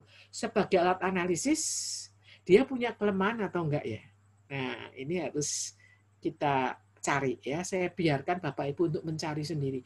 Karena saya sudah nggak pakai lagi produk life cycle analysis nggak pernah saya pakai ini untuk consulting saya nggak pernah. Nah pasti ada alasannya ya. Dan tidak saya ungkapkan ya. Nanti Anda bisa mencari sendiri apa kelemahan dari produk life cycle ini ya. Sehingga maksud saya tuh kalau ada alat analisis kita juga kritis ini ya kan. Wah, kita gunakan yang mana, kapan, kelebihannya, kelemahannya dan sebagainya. Baik, oke ya. Terus bla bla bla. Nah, terakhir di apa di bab ini adalah satu konsep yang namanya strategic groups ya. Dalam analisis persaingan disebutkan di buku ya ada satu konsep di mana strategic group ini menunjukkan perusahaan-perusahaan yang ya namanya strategic group ya kelompok ya. Perusahaan-perusahaan dalam kelompok yang diidentifikasi di mana mereka memiliki strategi yang sama atau mereka menarget kelompok konsumen yang sama. Ya. Contohnya misalnya ya kita bicara ya Coca-Cola dan Pepsi Cola itu mereka strategi grup. Alias apa? Strategi grup ini menghasilkan uh, dua aspek yang berbeda. Satu, perusahaan dalam strategi grup yang sama pasti adalah persaing terdekat kita, ya enggak? Ya. Nah, ini pesaing terdekat kita itu tentu saja yang paling uh, diawasi, ya, yang paling uh, menjadi perhatian kita. Tetapi juga mereka menunjukkan arah untuk mengembangkan pasar secara komplementer. Nah, jadi dikatakan yang namanya strategic group itu menunjukkan posisi saing dan juga posisi atau peluang untuk bisa melakukan kerjasama di strategic group. Ya kayak Coca-Cola dan Pepsi Cola ini sebetulnya dua-duanya tugasnya adalah mengembangkan pasar minuman berkarbonasi rasa cola. Ya enggak ya. Ibaratnya kita tuh akan maju juga ya kalau kita eh, apa namanya melihat apa yang dilakukan oleh pesaing kita Ya, kalau kita uh, berada di kelompok yang ibaratnya ya pertemanan yang penuh persaingan, itu suatu hal yang sehat atau enggak? Sehat juga loh, ya enggak. Misalnya, wah teman saya ambisius ambisius misalnya, loh dengan teman-temannya ambisius kita jadi ikut ambisius, ya enggak? Ya, jadi hasilnya itu akan menjadi positif secara keseluruhan. Jadi mengapa mengidentifikasi strategi grup itu menjadi suatu Eh, tantangan bagi kita agar bisa merumuskan strategi yang benar. Loh kalau benchmarknya sudah keliru, itu kita juga mengambil strategi yang keliru. Ya, sehingga dikatakan bahwa strategi grup ini menjadi satu langkah awal kita untuk mengidentifikasi sebetulnya siapa pesaing yang dekat, siapa pesaing yang kuat, dan juga mana pesaing yang baik dan tidak baik. Karena kita punya frameworknya biasanya ada yang strong versus weak, ya, distant versus close, ya jauh atau dekat. Yang ketiga adalah bad or good competitors. Itu semuanya dalam satu naungan yang namanya analisis kelompok strategis ya, strategic groups. Nah, contohnya ini juga nanti dalam persaingan tentang uh, mobil ya, kalau di apa di buku itu uh, dicontohkan tentang persaingan mobil di pasar Eropa. Ya. Jadi ada mobil besar, mobil Jepang, ya, mobil uh, luxury dan sebagainya. Ya. Penting sekali misalnya kita menyadari ya kenapa uh, Lexus ya, itu dulu logonya Toyota. Ya, tapi sekarang Lexus tidak menggunakan logo Toyota. Dia pakai logo apa? Logonya sendiri L. Ya. Karena dia mengatakan bahwa kalau dia masuk ke Toyota, maka strategi grupnya nggak mungkin masuk ke luxury cars. Ya. Toyota ya Toyota, apalagi di pasar Eropa ya. Kalau di Indonesia sih Toyota bagus. Tapi di pasar Eropa yang namanya mobil Jerman, eh mobil Jepang itu adalah mobil yang low class di Indonesia juga demikian ternyata. Ini saya juga baru baca beberapa waktu yang lalu ya. Saya juga heran kenapa Lexus tidak menggunakan tidak mengkapitalisasi brand equity-nya Toyota. Karena dari persepsi pasar yang namanya uh, luxurious cars itu Mercedes, BMW, ya. Tapi Toyota adalah Toyota ya. Bahkan harga untuk Lexus di Indonesia pada waktu itu katanya lebih rendah sekian persen ya, 15 atau berapa persen ya dari uh, luxury cars. Padahal ya mereka mengatakan kualitasnya sama ya. Maka kemudian Lexus dipisahkan dari Toyota ya untuk membuat strategic grupnya sendiri. Nah, ini apa uh, analisis persaingan yang nanti bagi kita ya ada implikasinya pada keputusan untuk melakukan branding dan sebagainya. Tahu ya maksud saya ya, bagaimana kita bisa mendefinisikan strategic group ini dengan tepat. Ya, yang terakhir sekali maaf ya masih ada satu lagi di analisis persaingan. Silahkan nanti dilihat ada beberapa framework yang berguna untuk kita bisa menggambarkan persaingan itu ya dalam eh, suatu diagram atau alat analisis yang sistematis. Ya, contohnya di sini ya dibuat suatu pemetaan tentang membandingkan antara environmental turbulence dengan marketing turbulence ya. Coba kita lihat ya. Marketing turbulence dengan maaf innovation turbulence ya, kita berada di sisi apa? Di innovation turbulence, betul-betul kategorinya berbeda atau hanya di marketing turbulence. Nah, ini nanti akan menimbulkan strategi yang berbeda ya. Nanti uh, saya minta Anda semua membaca dari buku ya. Satu aspek yang bisa kita analisis adalah membandingkan antara inovasi dengan marketing ya. Karena e, bisa saja marketing ini membuat ya meng, kelihatan ya kelihatan menggeser suatu kategori tapi sebetulnya tidak akan berubah secara signifikan. Nah itu dikatakan bahwa ada marketing turbulence dan innovation turbulence. Ada juga nah ini strateginya seperti ini ya bla bla bla ya. Oke kemudian ada juga e, alat analisis namanya space strategic position and action evaluation yang membandingkan antara company strength ya company dimension dengan industry dimensions. Ya dicontohkan di sini misalnya. Ini company dimensions ya enggak ya di bagian ini. Misalnya contohnya ya karena perusahaan itu kan punya kekuatan dari aspek finansial misalnya ya dikatakan company dimension financial strength. Ini contoh ya enggak? Kemudian industry strength ya ini dibandingkan ya dengan bagaimana perusahaan e, melihat yang namanya competitive disadvantage dan competitive advantage ya. Dicontohkan misalnya di sini. Kita berada di posisi e, A ya posisi A itu artinya apa? Di industri ya industri uh, dimension ini bisa ini ya technological technological changes rate of inflation demand variability bla bla bla ya sampai price range of competing products ya bisa dilihat mana yang bisa dipilih ya.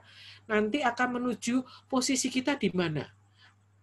Secara finansial kita kuat tetapi kita berhadapan di industri yang persaingannya sangat turbulence misalnya ya.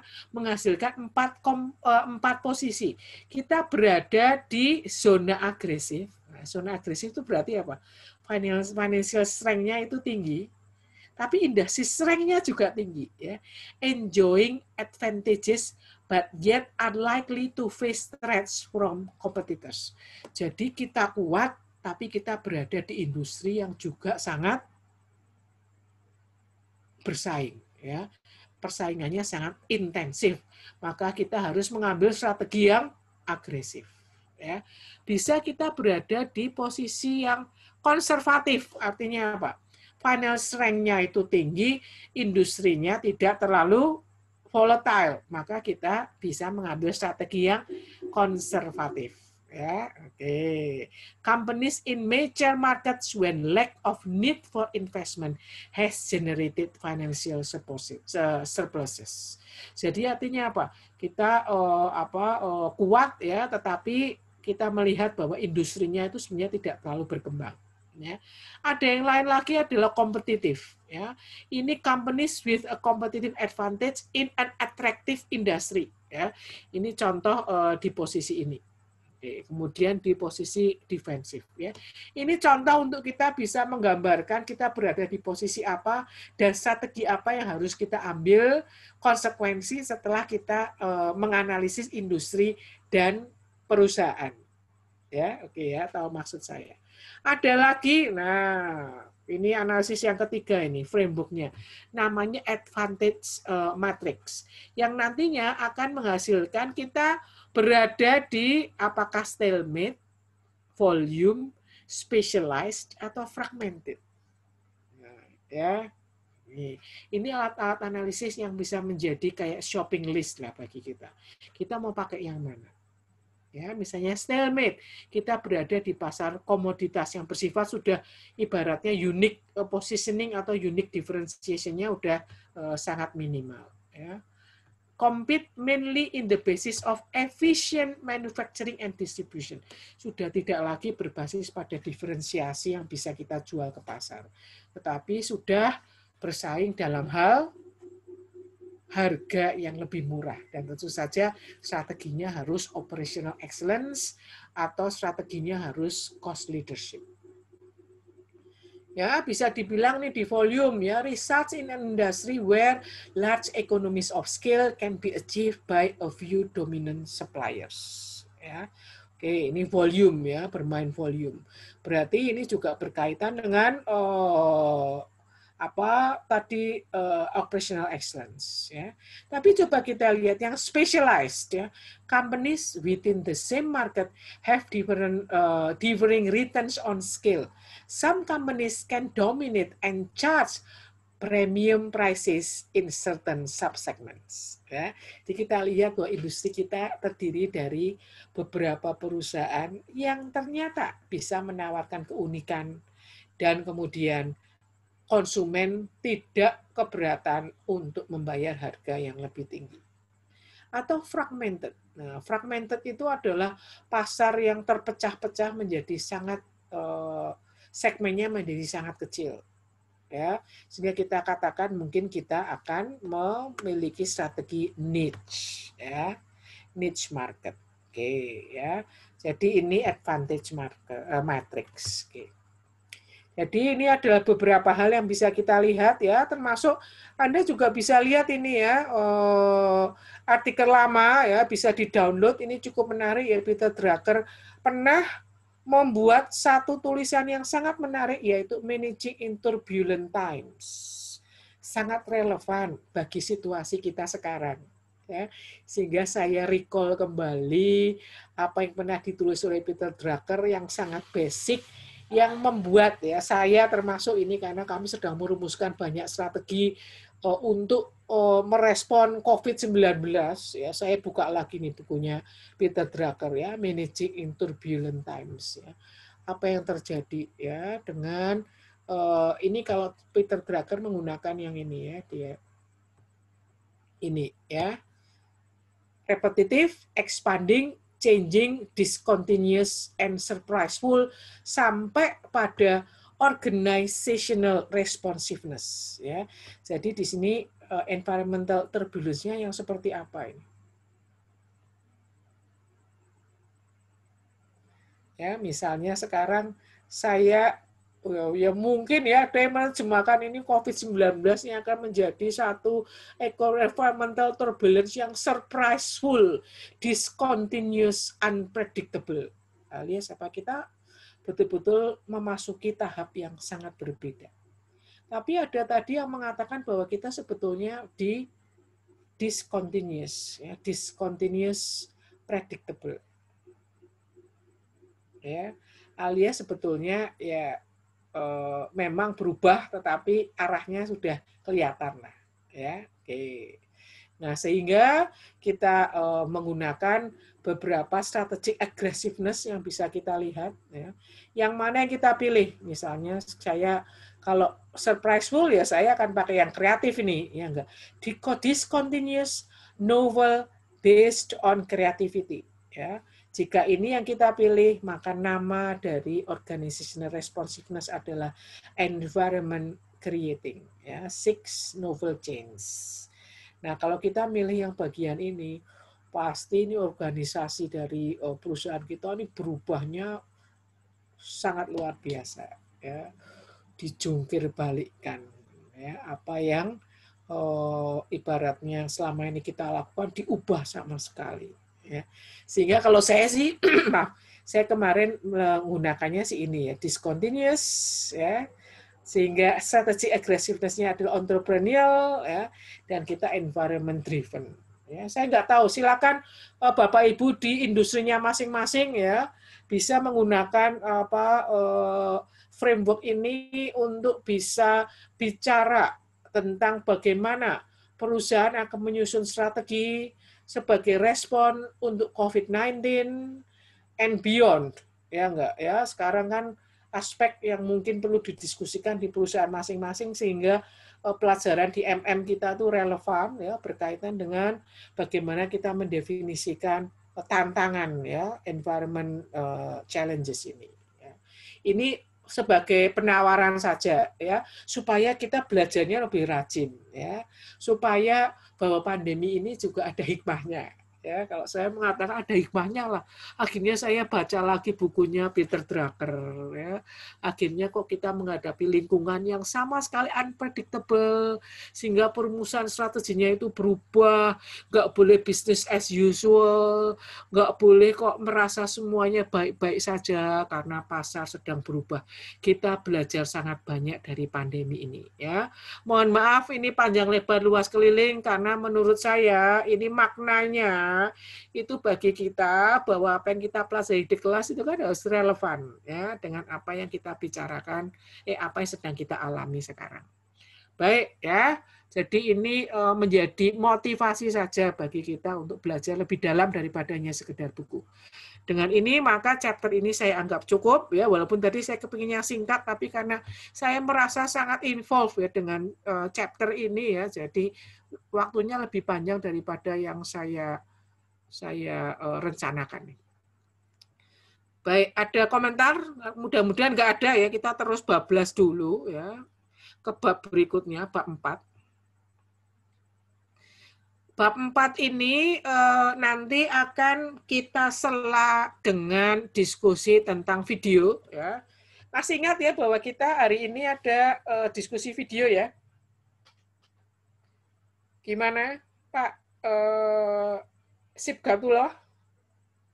Masih ingat ya bahwa sesuai dengan ya sesuai dengan itu ya nanti Pak uh, Sip Gatullah nih panggilannya siapa Pak? Agak Bu. Aga ya betul. Iya. Nanti Pak Aga nih yang menyampaikan karena kebetulan wajah Anda pas di screen saya tuh keluar besar ya jadi eh Pak Aga nanti ya. Iya Bu. Video ini. Nah baik sebelum kita melihat bahwa uh, slide ini uh, ber, isi tentang customer analysis ya maka introduction ini akan uh, kita bahas kemudian kita menuju pada diskusi video. Ya oke. Nah ini ya untuk screen sharingnya akan kita perlihatkan untuk introduction ya. Share screen untuk bab 4 ya di screen sharing ini Pak 4 customer analysis introduksinya itu pas dengan video yang kita bahas. Ya yang di situ secara prinsip saya beri judul uh, closing marketing capabilities gap. Ya atau di situ adalah profiting from data deluge. Ya yang intinya adalah perubahan teknologi, perubahan eh, ketersediaan informasi dan kaitannya dengan customer analysis dan effective marketing decisions ya. Nah, introduksinya kita diajak untuk mengetahui bahwa yang namanya effective marketing decisions are based on sound information Ya. Jadi informasinya itu harus bagus sebagai dasar pengambilan keputusan. Ya.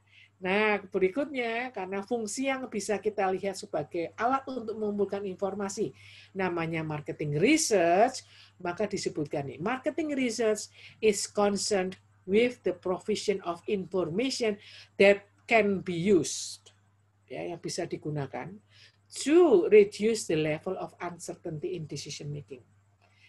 Nah, ini menjadi slide yang mudah dibicarakan tetapi sulit untuk dilakukan. Ya, apalagi sekarang eranya di mana data itu data data everywhere alias apa saking banyaknya data malah kita bingung ya, mau ngapain ya maka video yang direcord kalau nggak salah ini di YouTube itu di post 8 tahun yang lalu ya ya tapi sekarang sangat relevan ya sehingga masih kita diskusi di tahun 2020 ini. Nah, videonya semuanya udah lihat belum? Sudah ya mudah-mudahan ya. Yang belum angkat tangan. Videonya semua sudah lihat ya? Ya, oke. Okay. Saya lihat Nabila ini menganggukkan kepala dengan sangat mantap ya. Berarti sudah lihat ya, sudah mempelajari semuanya ya pelajaran yang berharga dari video uh, closing the marketing capabilities gap. Baik, kita tanya dulu pendapat dari Pak Aga berkaitan dengan video wawancara uh, dengan uh, George Day dan satu profesor satunya namanya siapa ya yang yang jenggotan itu ya. Silakan Pak Aga. Baik Bu, terima ya. kasih Bu uh, agak coba menyampaikan dari videonya ya Bu ya. Videonya cukup ya, lama sekitar 25 menit. Betul. Uh, agak simpulkan dengan sederhana mungkin Bu ya. Baik. Di video itu dibahas terkait dengan bagaimana uh, bagaimana adanya banjir data yang dihadapi suatu perusahaan saat mereka mencoba memenuhi tantangan pemasaran selama beberapa dekade terakhir. Jadi Eh, kemampuan marketing itu dapat dilakukan dengan membaca data, baik data dari teknologi yang bisa mereka ambil dari media sosial.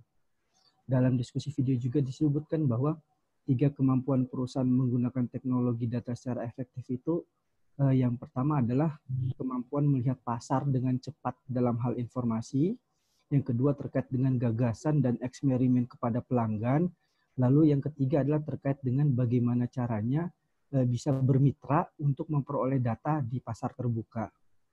Nah, lalu di diskusi juga di diskusi juga sempat disebutkan bahwa mitra yang bisa diajak untuk bekerja sama adalah biro periklanan seperti Amazon. Di situ juga dijelaskan bahwa Amazon itu memiliki cara untuk mengetahui apa yang dibutuhkan konsumen sebelum konsumen tahu apa yang mereka perlukan. Lalu juga di situ disebutkan bahwa salah satu cara Amazon uh, berhubungan uh, berhubungan dengan konsumen adalah mereka berhubungan langsung dengan pelanggan tidak menggunakan distributor. Hmm.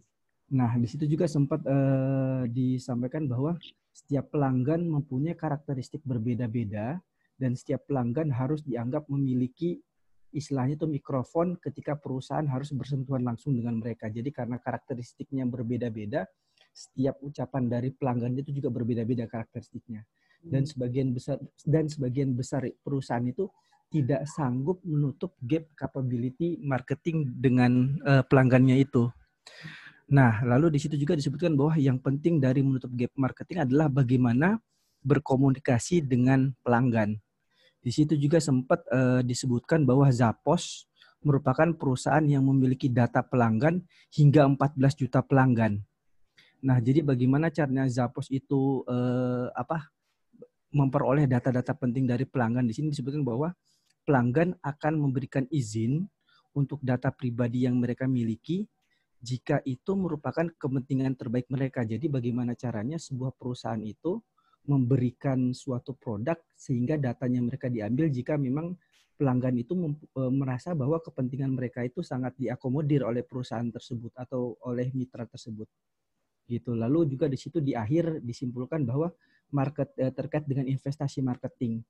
Jadi di situ disebutkan bahwa marketing itu tidak hanya bicara saat ini, tapi di masa depan. Perusahaan benar-benar harus berinvestasi untuk memahami pelanggan itu sendiri. Lalu dicontohkan seperti bagaimana seorang pelanggan itu membeli BMW. Jadi Jadi biaya investasi yang dilakukan adalah bukan bukan berapa produk BMW yang dikonsumsi saat ini, tapi bagaimana mungkin ketika dia membeli BMW pertama, lalu di masa yang akan datang dia akan membeli BMW-nya kedua, ketiga dan seterusnya. Mungkin seperti itu dulu Bu dari Ya, baik. Ya, terima kasih Pak Aga, sangat menarik ya. Jadi tadi analisis yang dilakukan Pak Aga ini dengan contoh-contoh ya. Eh, saya kira bagus ya, tepat dan mungkin satu lagi ya, kita ingin melihat dari mahasiswa yang lain atau mahasiswi untuk menunjukkan bahwa sebetulnya capability seperti apa sih ya yang disebutkan oleh George D. Ya, di tengah eh, situasi di mana pertumbuhan data itu dikatakan dia 200% pertumbuhannya dalam waktu 18 bulan, ya, satu setengah tahun, itu akan data yang kita miliki itu double. Tetapi kemampuan kita untuk menggunakan data hanya tumbuh 2 persen. Berarti kan hanya seper hanya satu persennya ya. Datanya naik 200 persen, tapi kemampuan manajer, kemampuan perusahaan untuk menggunakan data, untuk merumuskan eh, keputusan berbasis data atau informasi sebetulnya ya, itu hanya naik 2%. Ya, berarti kan gap-nya ini luar biasa itu. Ya, sehingga dikatakan narrowing ya, marketing capabilities gap. Oke, ya. Mari kita dengarkan pendapat dari Fitria Wahyu Aprilani. Silahkan, Bu Fitria. Oh, iya, Bu Ike. Baik. Um, iya Bu, jadi kan uh, pada video yang sudah ditonton uh, tadi, itu kan terdapat tiga kemampuan perusahaan untuk butuhkan dan melakukan sorting, sharing, dan interpreting. Kan ada villaging market learning atau kemampuan untuk mendap uh, mendapat mengcapture informasi yang benar. Terus yang kedua kan ada notion market experience. Terus yang ketiga ada open marketing. Nah, uh, cara untuk uh, perubahan mengetahui yang penting itu harus ditangani dia hanya gangguan mengcapture seluruh komen yang ada Bu. Kemudian uh, diedit untuk mencari pattern atau pola. Setelah pola didapat uh, lalu seluruh noise dan fokus pada uh, apa yang kita cari data tersebut Bu. Terus seluruh seluruh perusahaan uh, biasanya tidak mendapatkan menyelesaikan marketing gap uh, yang bisa dilakukan company adalah menyelesaikan marketing dibandingkan kompetitor gitu Bu. Terus uh, dengan adanya new, informasi yang baru dan komunikasi, uh, perusahaan dapat merubah kemampuan konsumen agar dapat melewati uh, melewati tembok perusahaan untuk menjadi produk unggulan perusahaan dengan menciptakan transparansi sehingga uh, membangun hubungan konsumer yang baik sih Bu. Ya baik. Jadi betul ya, ada beberapa hal yang ditekankan oleh George Day. Bahwa marketing today itu berbeda dengan marketing in the past. Ya. Bahwa sekarang ini yang menjadi nuansa dari manajemen pemasaran adalah data driven. Alias apa? Bahwa pengambilan keputusan akan semakin didasarkan kepada data yang sudah tersedia di mana-mana. Ya, bahkan orang itu banyak ya dikatakan ya. Mungkin nggak cuma di Amerika ya lebih parah di Indonesia ya. Di Indonesia itu orang itu dengan mungkin nggak nggak tahu penting ya di Indonesia privacy ya. Kita bisa melihatkan data apa yang dimakan ya setiap mau makan difoto dulu ya enggak ya. Pergi ke mana saja bisa di track lewat sosial media ya enggak ya. Semuanya itu privacy itu kok jadi hilang yang justru bagi kita menyediakan alternatif data yang besar ya. Jadi marketing today is not the same with a marketing in the past ya. Tetapi data yang banyak tersebut membutuhkan namanya predictive analytics ya. Jadi satu kompetensi siapa tahu loh di sini ya, terutama uh, mahasiswa yang berkaitan dengan TI ya, mahasiswa yang ingin menuju kepada analisis eh, data ya, karena ada satu mahasiswi saya yang dia tesisnya sedang membuktikan ya. Karena yang bersangkutan kerja di bank ini belum saya omongin karena belum selesai tesisnya ya. Jadi belum boleh dibuka ya. Tapi yang bersangkutan kerja di bank dan dia membuktikan. Dengan data yang banyak itu maka sebetulnya bank itu bisa melakukan strategi segmenting dan targeting yang jauh lebih baik. Ya, dia sebutkan persis seperti yang dia pelajari pada waktu kita bicara tentang bab 4 ini. Predictive analytics ya. Dengan data yang banyak bisa menyajikan informasi sebagai dasar pengambilan keputusan yang lebih baik. Ya, jadi intinya itu.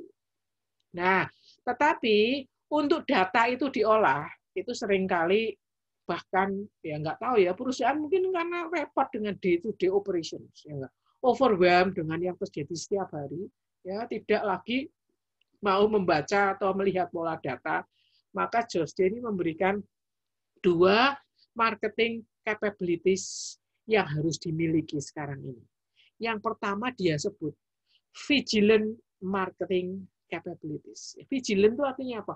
Faster to learn. Ya enggak ya. Dan juga faster to sort out information. Karena yang noise itu juga banyak. Ya enggak ya. Noise-nya kebanyakan, ya hoax-nya kebanyakan lah ibaratnya ya.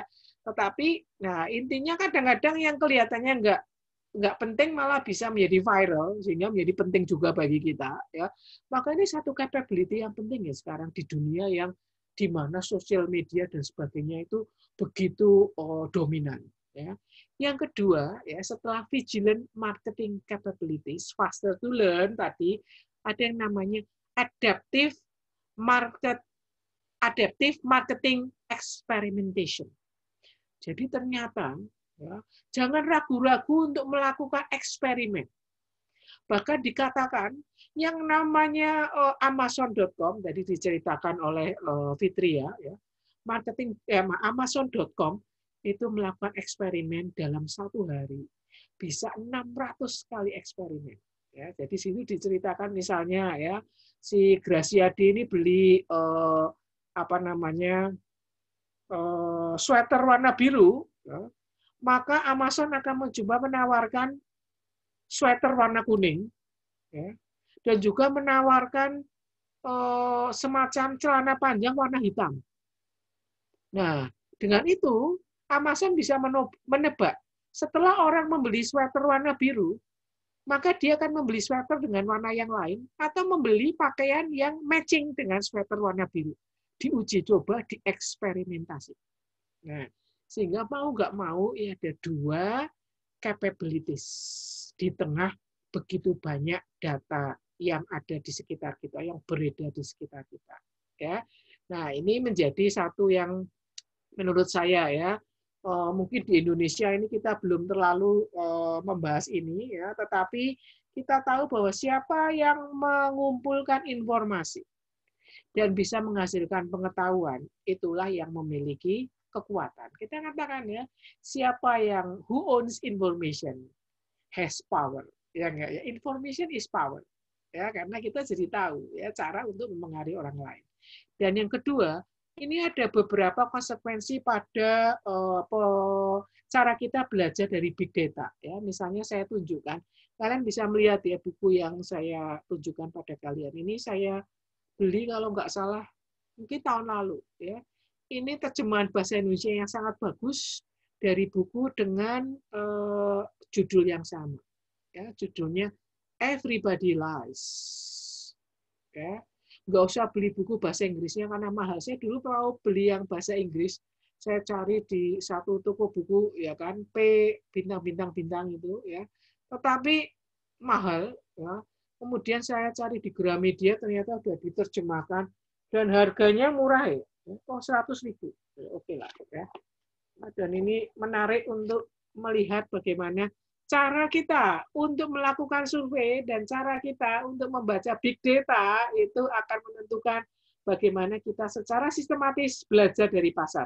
Saya nggak dapat komisi loh, saya cuma menunjukkan loh ya. Ini nanti dikiranya saya di endorse oleh Gramedia tidak loh ya, enggak ya. Ini nggak ada hubungannya dengan uh, seperti youtuber-youtuber itu ya enggak ya tapi ini saya rekomendasikan karena ini mind opening juga ya berkaitan dengan sikap kita terhadap big data ya oke nah kemudian yang kita ingin ketahui dari customer itu apa nah, ini juga kaitannya dengan marketing plan loh ya tadi tetap benang merahnya itu marketing plan ya. Marketing plan kan tadi adalah external environment analysis.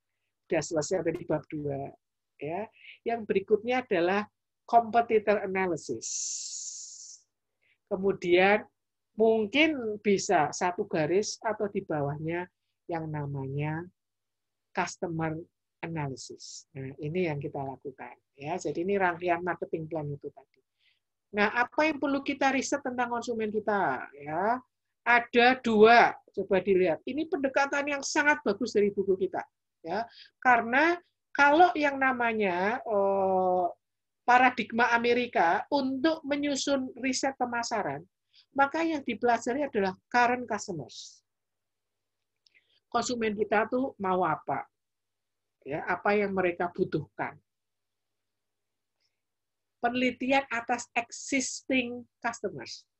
Ya. Tapi di buku ini ternyata ada satu paradigma yang sebetulnya saya kenal, itu adalah konsepnya eh, penelitian pasar menggunakan pendekatan eh, manajemen ala Jepang. Ya, jadi katanya ini ya, kalau di Jepang itu yang penting belajar tentang konsumen itu adalah konsumen yang belum menjadi konsumen kita. Itu yang pertama. Ya. Kenapa yang paling penting itu ada belajar mereka nggak mengapa nggak membeli produk kita ya dikatakan oleh eh, apa model manajemen Jepang itu seperti itu. Jangan hanya belajar dari konsumen yang sudah menjadi konsumen kita lah itu biasa sih mereka sudah relatif ya mereka menyukai ya enggak ya jadi kalau kita membuat oh, apa survei mereka disuruh menilai biasanya udah bagus-bagus sih ya. Karena relatif mereka sudah menjadi konsumen kita. Biasanya ya tidak menutup memang ada perubahan. Itu yang pertama ya paradigmanya adalah dari current and potential customers. Yang kedua adalah di buku ini dikatakan apa? Future customers ya. How will customers and their needs and requirements change ya. Berarti kita antisipasi apakah bisa berubah atau tidak. Ya. Yang kedua dan ketiga, which new customers should we pursue? Ini tadi yang potential customers. How should we pursue them? Nah, jadi ini adalah nuansanya tentang riset konsumen. Ya, oke. Nah, apa yang kita lihat? Siapa ini yang keluar? Oke. Pak Raihan masih ingat nggak Bapak ini siapa?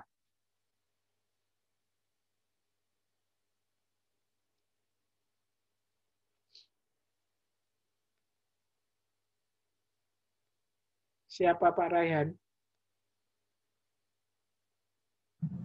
Kurang tahu, Bu. Kurang tahu ya. Belum kenal ya. Ya, oke. Siapa lagi yang mau mencoba? Pak Arifin, ini siapa Pak Arifin?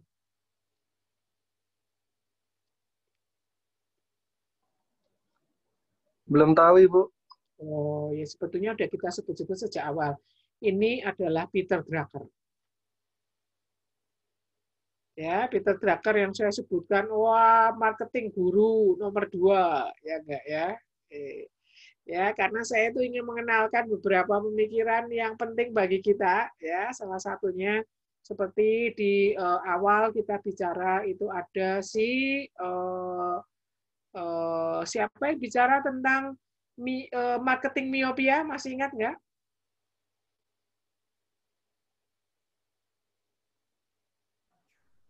lupa ya. Levitt. Theodore ya, Levitt, betul. Theodore Levitt.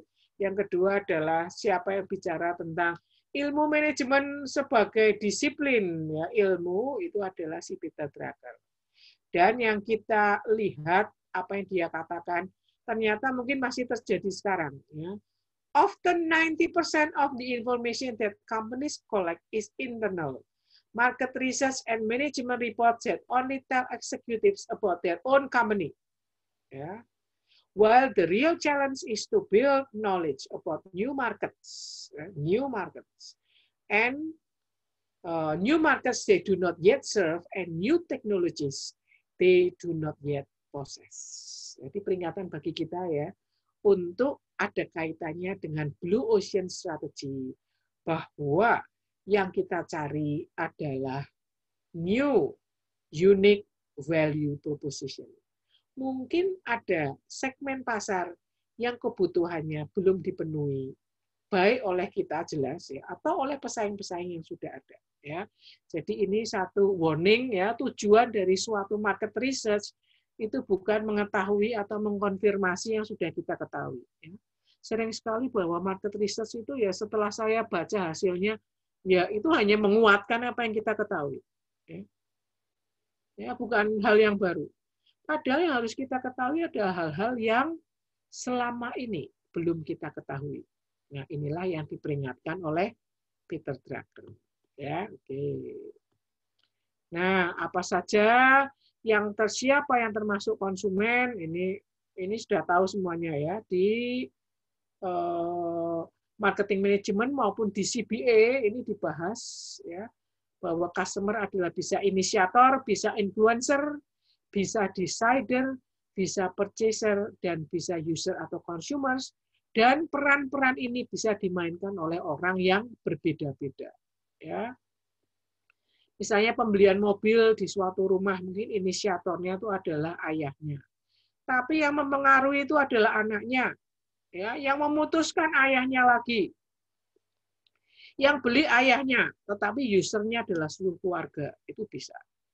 Ya atau inisiasinya dari ibu ya influencernya itu adalah anaknya decidernya ayah purchasernya bersama-sama satu keluarga dan usernya adalah satu keluarga ya.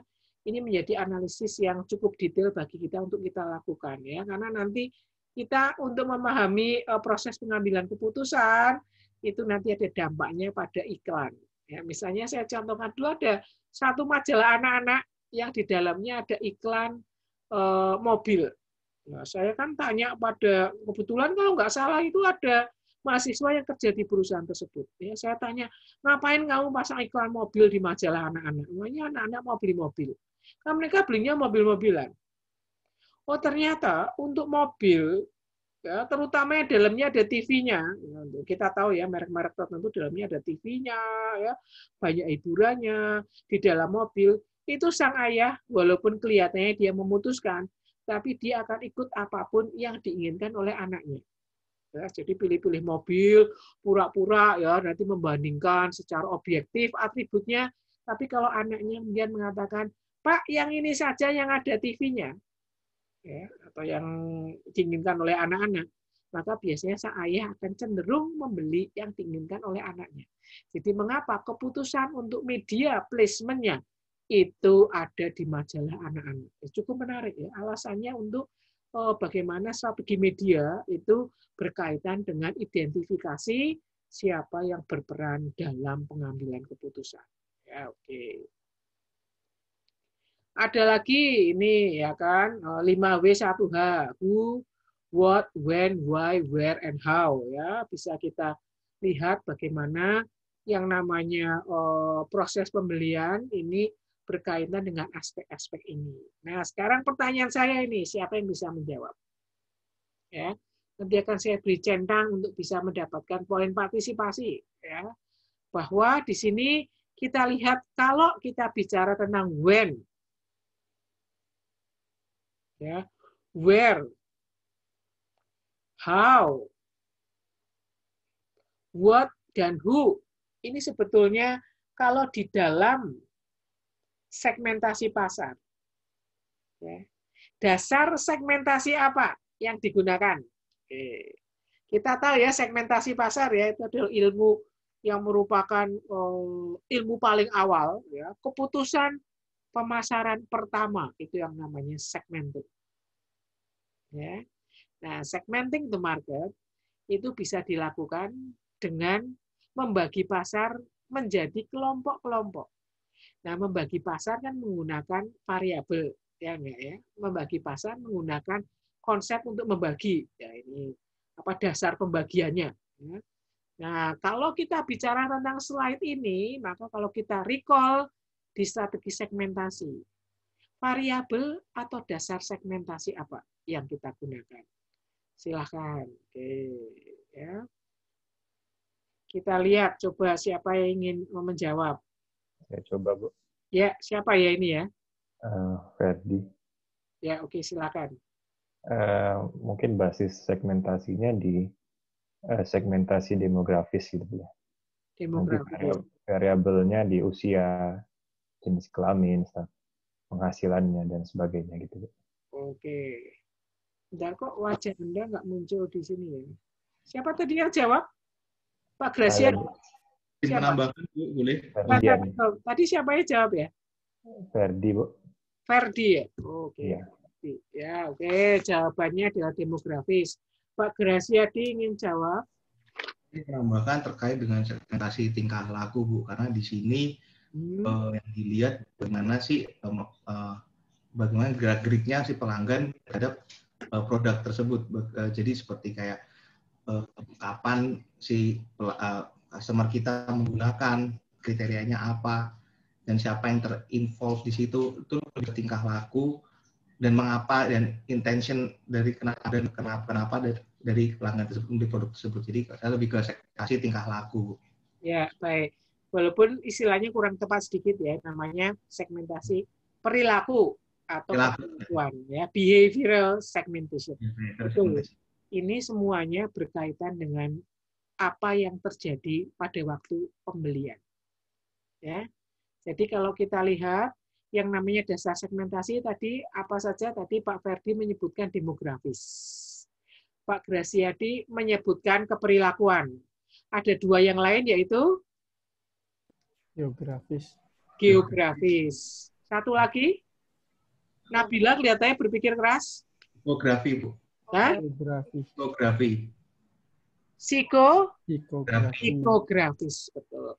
Jadi ada empat dasar segmentasi, yaitu psikografis, demografis, geografis, dan keperilakuan. Ya, jadi kita melihat nanti kalau anda ini belajar CBA, Consumer Behavior Analysis, ini kalau nggak salah semester ini juga ngambil CBA ya. Betul ya? Nah, CBA itu akan membuat Anda sangat ahli dalam melakukan strategi segmentasi atau pembagian pasar menggunakan variabel psikografis. Ya, psychographic segmentation itu akan sangat dibangun capabilities ya, ya kita pakai istilah Josti, melalui mata kuliah CPA. Ya, jadi di situ kan wah yang unik-unik ya kan, yang namanya orang dilihat dari segi motivasinya, ya, dan teori personalitasnya, ya, sifatnya, kecenderungannya, ya, itu semuanya adalah psikografis. Tapi kalau di strategic marketing, kita bicara segmentasi, maka basis segmentasi yang paling banyak digunakan itu adalah basis segmentasi keperilakuan. Ya, atau segmentasi secara behavioral, behavioral segmentation. Mengapa? Eh, sekarang pertanyaan saya berikutnya, mengapa di strategic marketing kita nggak terlalu psikografis itu kurang lah. Ya, bukan saya mengesampingkan ya, karena itu juga penting juga ya, itu membuat yang namanya pembagian konsumen itu jadi menarik ya, value proposition bisa unik dan kelihatan sophisticated ya, itu pakai CBA. Tapi kalau di strategic marketing kita membangun kompetensinya ada di behavioral segmentation. Mengapa? Eh, siapa yang ingin jawab?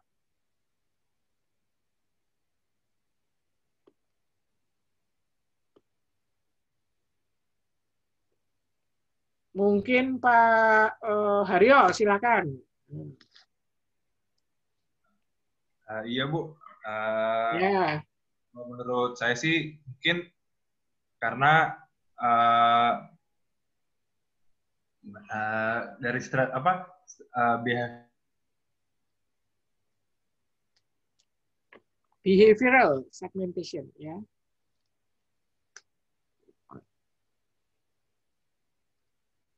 Suaranya menghilang atau saya saja yang nggak mendengar ya? Putus bu. yang, Putus bu. Jaringannya Silakan Bu. Pak Aryo. Halo. Uh, iya Bu. Uh, halo.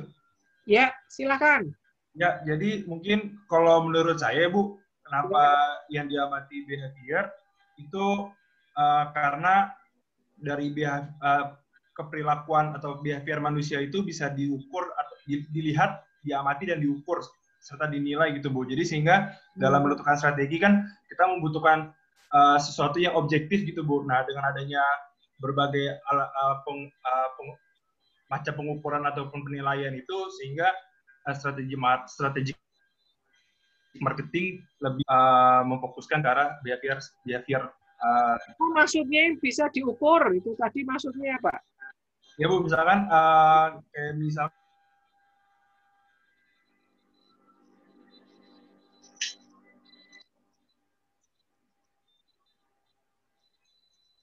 Ya, Pak Haryo. Oh, lost contact lagi nih ya dengan Pak Haryo. Misalkan oh, iya. uh, frekuensi uh, uh, uh, frekuensi pembeliannya itu berapa banyak gitu. Ya, Jadi okay. dalam behavior itu kita akan nilai seperti itu atau uh, pengukur, melakukan pengukuran seperti itu, Bu. Ya, betul sekali. Tepat yang dikatakan oleh Pak Haryo. Jadi mengapa di strategic marketing kita membangun kompetensi atau capability di behavioral segmentation strategy. Ya, pemahaman konsumen berdasarkan keperilakuan. Karena memang ya yang namanya segmentasi secara keperilakuan itu yang paling dekat dengan actual purchase. Ya.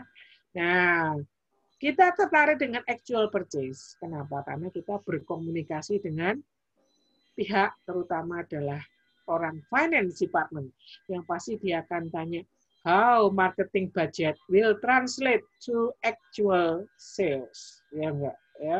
Berapa kita akan mendapatkan profit dari semua anggaran pemasaran yang kamu ajukan.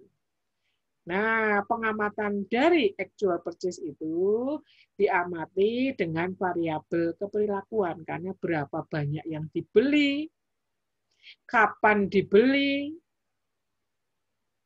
digunakan pada occasion apa, tingkat loyalty-nya seperti apa, apakah speed loyalty atau switcher belinya kadang-kadang, belinya terus-menerus, frekuensi dan sebagainya itu adalah behavioral segmentation. Ya. Jadi mengapa mata kuliah yang kita pelajari ini komplit. Nanti di CBA itu adalah ahli di psikografik, di strategic marketing kita bicaranya adalah di behavioral segmentation. Ya, ya kita kan bisa dibilang ya untuk bisa menganalisis mungkin kita harus panggil uh, mata kuliah yang lain ya intertext ya kita katakan ya supaya kita bisa mendapatkan pemahaman. Oh, jadi kompetensi yang harus didapatkan ya oleh uh, konsentrasi pemasaran ini ada banyak hal ya yang dibangun melalui CBA, yang dibangun melalui uh, global marketing ya yang juga dibangun melalui strategic marketing. Ya, bagus sekali Pak Haryo. Kita akan melihat uh, slide berikutnya. Ini slide yang didapatkan melalui mata kuliah CBA. Ini saya ambil dari slide CBA. Ya. Jadi Anda juga akan lihat slide ini ya di mata kuliah CBA. Nggak tahu sudah sampai di sini atau belum.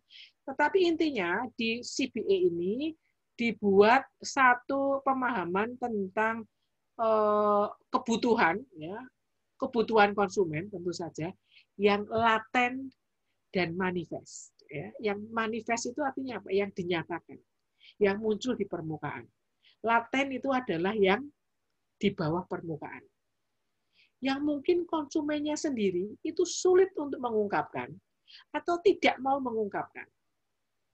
Nah, kalau yang manifest ya dicontohkan, kalau kita tanya kepada konsumen, Mengapa Anda membeli mobil ini? Maka jawabannya adalah yang di sisi eh, kiri ini, ya, yang bagian merah. Oh ya karena mobil ini besar. Mobil besar itu lebih nyaman.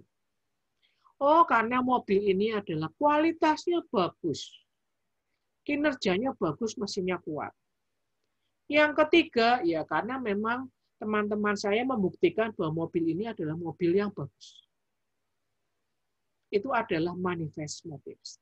Tetapi kalau kita gali, kita tanya-tanya, kita oh, ibaratnya probing ya atau kita inferensikan, maka sebetulnya yang paling memotivasi apa namanya motivasi dari pembeliannya itu adalah apa?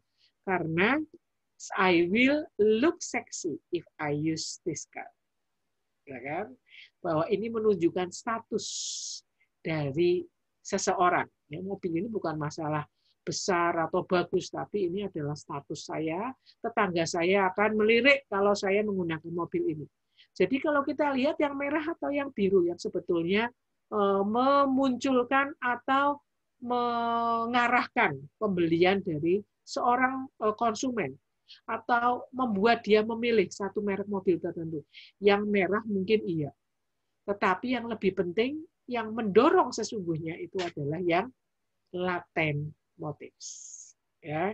Nah, sehingga sebagai seorang pemasar, nanti kalau kita ya tentu saja dari slide ini ya di eh, apa namanya di apa bukakan perspektifnya bahwa kalau manifest motif itu ya bisa dibilang itu standar normatif ya enggak ya tetapi harus kita gali adalah sampai pada kebutuhan yang laten ya sama dengan pertanyaan kita ya mungkin beberapa minggu yang lalu sebetulnya apa bisa pemasar itu e, menciptakan sesuatu yang konsumen aja nggak tahu apa dia butuhkan atau enggak ya kalau konsumen kebutuhannya hanya bisa dimaknai e, hanya dari manifest motifs mungkin mereka nggak tahu yang dia butuhkan. Tetapi kalau kita sampai kepada laten motif, ya, maka kita bisa menggali kebutuhan konsumen sampai pada lapisan yang paling dalam, ya, the true motivations, ya, the true needs, ya, apa yang dibutuhkan, dan kita bisa mendapatkan informasi yang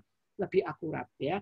Jangan percaya pada informasi yang mungkin didapatkan melalui survei. Itu survei ini sama buku ini nih ini diajak habis-habisan. Kalau kita, cara kita menggali informasi dari konsumen, sama seperti kita melakukan survei seperti selama ini kita lakukan, maka kita akan yakin mendapatkan informasi yang semuanya bias. Ya. Everybody lies dikatakan ya, di buku ini. Oke, baik. Nah, ini beberapa contoh saja ya bagaimana kita bisa menggali informasi secara tepat ya. Berdasarkan data sebetulnya nggak terlalu istimewa sih. Misalnya kita tahu ya bahwa sepanjang sejarah itu Honda memimpin pasar ya. Tapi kali ini ternyata dengan Mio ya dengan Yamaha Matic ya maka Yamaha bisa mengalahkan Honda ya. Ini contohnya ya. Atau yang pernah mungkin saya bicarakan pada anda ini ya. Kalau nggak salah dua minggu lalu saya bicara ini ya. Ya ini yang apa namanya penting bagaimana kita jadi tahu yang namanya latent motives ya. Orang Indonesia kalau ditanya tingginya susu yang seperti apa? Mungkin jawabnya itu ya ya susu ya enggak. Tapi kalau pertanyaannya adalah apakah Anda ingin bahwa anak Anda itu akan cerdas lebih unggul dibandingkan anak-anak lain? Iya. Ya maka inilah yang diciptakan untuk melayani kebutuhan yang demikian. Nah, ya teng teng teng teng Nah, sehingga di bab ini kita diberi menu, diberi pilihan untuk cara melakukan penelitian di luar survei. Ya, kalau survei itu semua orang tahu. Tetapi survei tidak akan bisa menggali sampai pada latent motives. Maka dia bicara tentang kualitatif research. Contohnya, hearing customer descriptions of things. Dengarkan konsumen, gali apa yang dia inginkan, gali apa yang dia impikan. Ya, dengan itu kita jadi paham, oh ternyata konsumen itu punya sebetulnya keinginan untuk memiliki jenis produk tertentu. Ya, nah ini adalah eh, beberapa hal yang dikemukakan di bab 4 Ya, ya hasilnya adalah minggu depan akan saya tanyakan, eh maaf, mungkin, wah kalau besok mungkin kasihan ya, kalian malam ini sudah lelah, besok presentasi, maka pertemuan mendatang saya tanyakan, coba dari bab 4 ini kita bisa mendapatkan cara untuk mendapatkan data yang berbeda dengan selama ini yang kita ketahui atau enggak. Ya. Karena bab 4 ini betul-betul menunjukkan bahwa jangan sampai kita melaksanakan marketing research hanya dengan metode yang selama ini kita ketahui. Ya, sama dengan tadi misalnya ya Josh Day sudah mengatakan ya, ternyata yang menjadi catatan paling menohok bagi kita adalah kita gagal belajar dari data yang sebetulnya sudah tersedia di depan kita. Ya, maka ada mungkin nanti ya Anda semua di perusahaannya masing-masing bisa sharing ya apa yang sudah dilakukan ya apa yang menjadi pitfall atau menjadi uh, kelemahan jebakan Batman yang selama ini uh, Anda alami ya dalam yang namanya marketing research ya. Data yang mungkin misleading ya saya sering sekali ya. Data kok jadi oh, malah menyesatkan. Kenapa data menyesatkan? Oh ternyata karena kita hanya menggunakan metode pencarian data yang selama ini kita percaya survei ya survei itu semuanya bohong ya enggak orang ngisi tanpa melihat pertanyaannya itu sering ya enggak ya atau menjawab sesuai dengan apa yang dia uh, pahami sebagai social desirability bias. Bias kepatutan sosial. Alias apa? Ya jawabannya itu yang menurut saya akan membuat orang lain memiliki image yang baik tentang diri saya. Misalnya saya ditanya, oh, Bu Ike sehari oh, membersihkan rumah berapa kali? Oh dua kali, pagi nyapu, sore nyapu lagi. Ya, supaya orang menyangka saya seorang uh, ibu yang baik. Ya enggak? ibu rumah tangga yang baik. Padahal ya nyapunya jarang-jarang. Ya enggak. Tapi kan jawabannya harus jawaban yang baik. Ya enggak. Itulah kelemahan yang kemudian uh, bisa menghasilkan informasi yang yang sampah. Ya, dikatakan gigo, garbage in, garbage out. Kalau informasinya jelek, maka keputusannya juga sampah. Ya, Nah, inilah uh, apa spirit dari bab 4. Oke, ya. Jadi tahu ya, ini apa? Mungkin kita tahu ada survei, ada kemudian cara untuk yang terbaru dikatakan oleh Josde, ya. Bagaimana kita membangun apa uh, adaptive capabilities dan juga tadi yang namanya uh, apa tadi uh, predictive analytics ya kan menggunakan big data itu uh, menjadi tuntutan atau menjadi marketing capability yang harus kita bangun.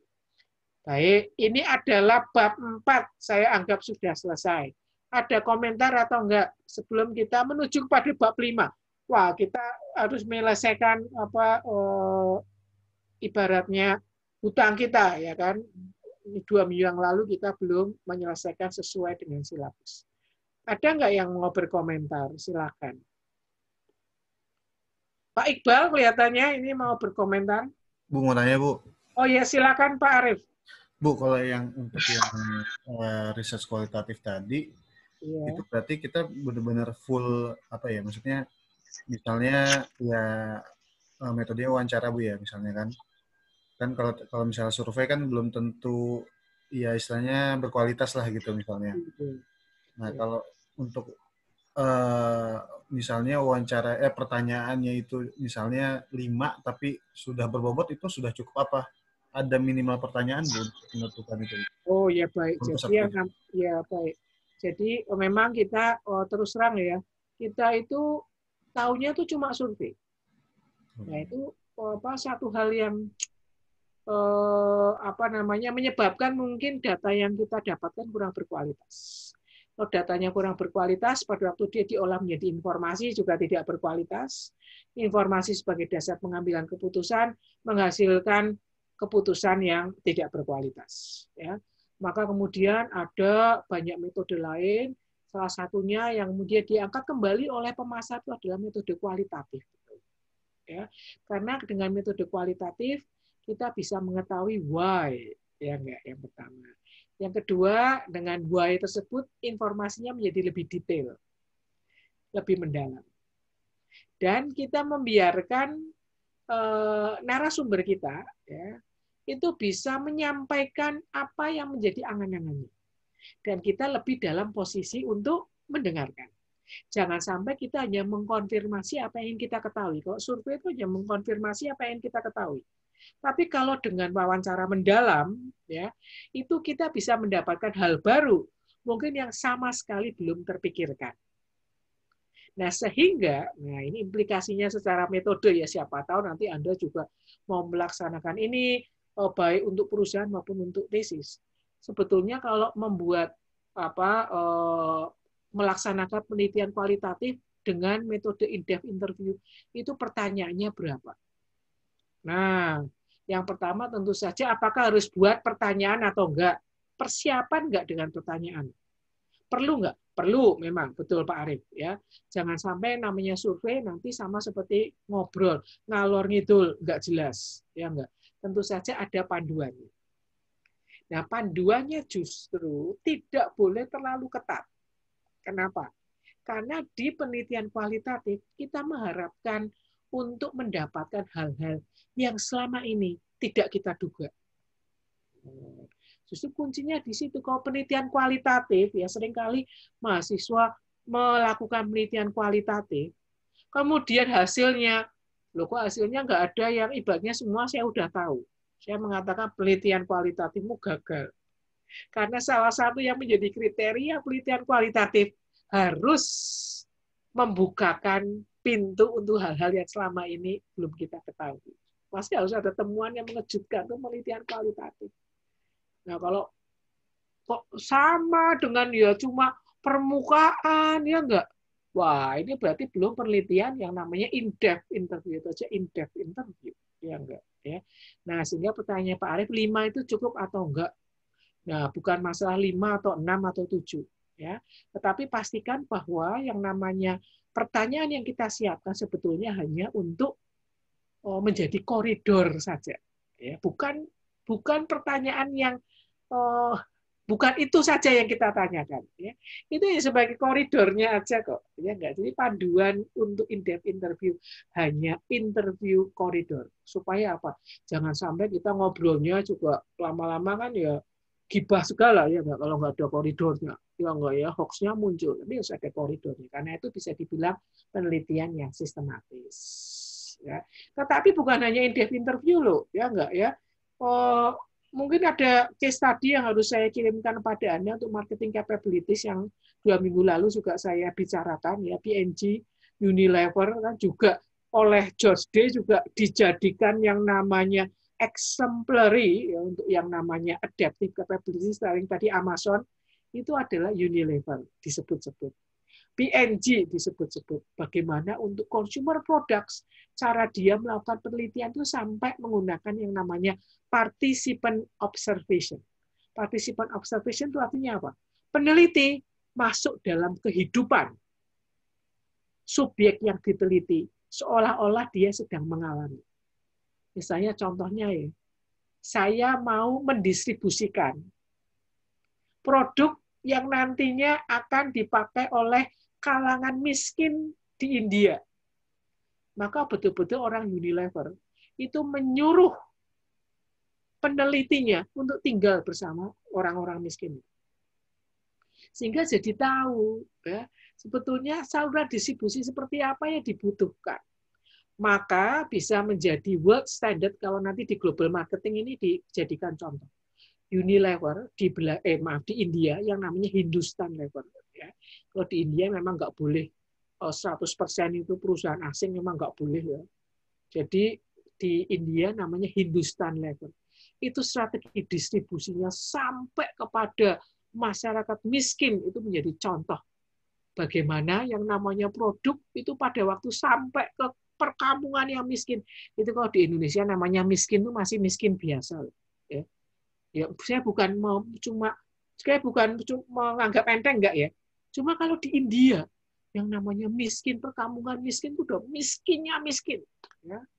ya siapa tahu nanti pada kepingin ke India untuk lihat ya, ya maaf ya bukan objek pariwisata kok ya orang miskin. Tetapi maksudnya kita lebih pada strategi perusahaan itu ya tadi saya katakan participan observation kalian jadi tahu apa yang dibutuhkan setelah peneliti harus mengalami sendiri itu namanya participan observation ya kemudian PNG juga mendirikan rumah rumah tersebut dihuni oleh keluarga yang diamati bagaimana mereka menjalani kehidupan sehari-harinya.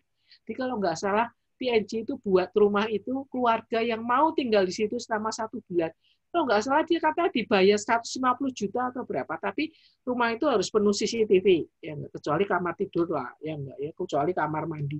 Tetapi bagaimana masak, mencuci sehari-hari itu semuanya diamati di labnya Unilever, di labnya PNG ya untuk dilihat sebetulnya dia butuh apa. Ya. Ibu yang baru mencuci itu mengalami kesulitan apa diamati. Ya.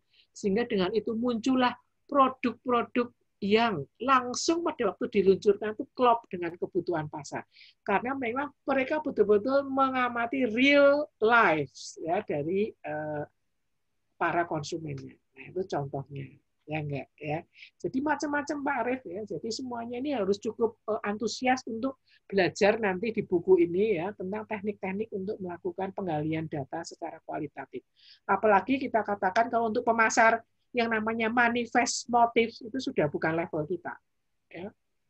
Namanya manifest motif ya yang di permukaan itu sih sudah semua orang tahu, pesaing kita semuanya tahu dan tidak akan menghasilkan unique selling point kalau kita cuma bicara manifest motives. Harus sampai pada latent motives tadi. Oke. Gitu ya Pak Arif ya. Ya, terima kasih. Ada pertanyaan lain? Bu, mau komentar. Bu. Komentar, siapa dulu? Iqbal dulu ya? Iya, Bu.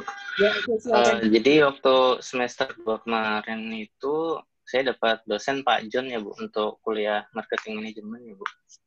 Oh. Nah beliau cerita untuk suatu perusahaan itu untuk mengetahui produk apa yang dibutuhkan oleh masyarakat, ia sampai uh, meneliti buangan sampah apa yang uh, setiap hari dilakukan. Jadi misalkan dia buang apa, buang apa, nah dia diteliti sampai beberapa bulan. Nah itu akan match dengan apa yang akan dia keluarkan produknya untuk selanjutnya. Bu.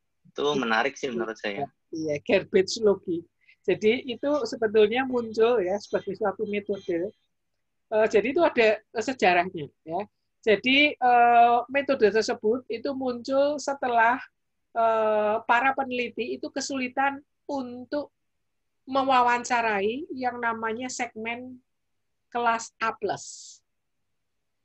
Ya, jadi itu diceritakan itu ada sejarahnya di mana garbatologi itu uh, muncul setelah kita mau mewawancarai kelas A plus saja, mau ibaratnya ya sudah baru panu pecet belnya aja, oh karena rumahnya kan jauh ya kan, oh, yang datang apakah asisten rumah tangganya atau malah dibangun anjing ya enggak ya, jadi enggak bisa. Maka peneliti ini selama dua minggu penuh itu mengumpulkan sampah dan bahkan yang menarik adalah pembantu rumah tangganya itu kalau diminta sampahnya, oh malah diambilkan lagi yang di dalam. Ya enggak, kadang kan senang ada yang mengumpulkan sampah.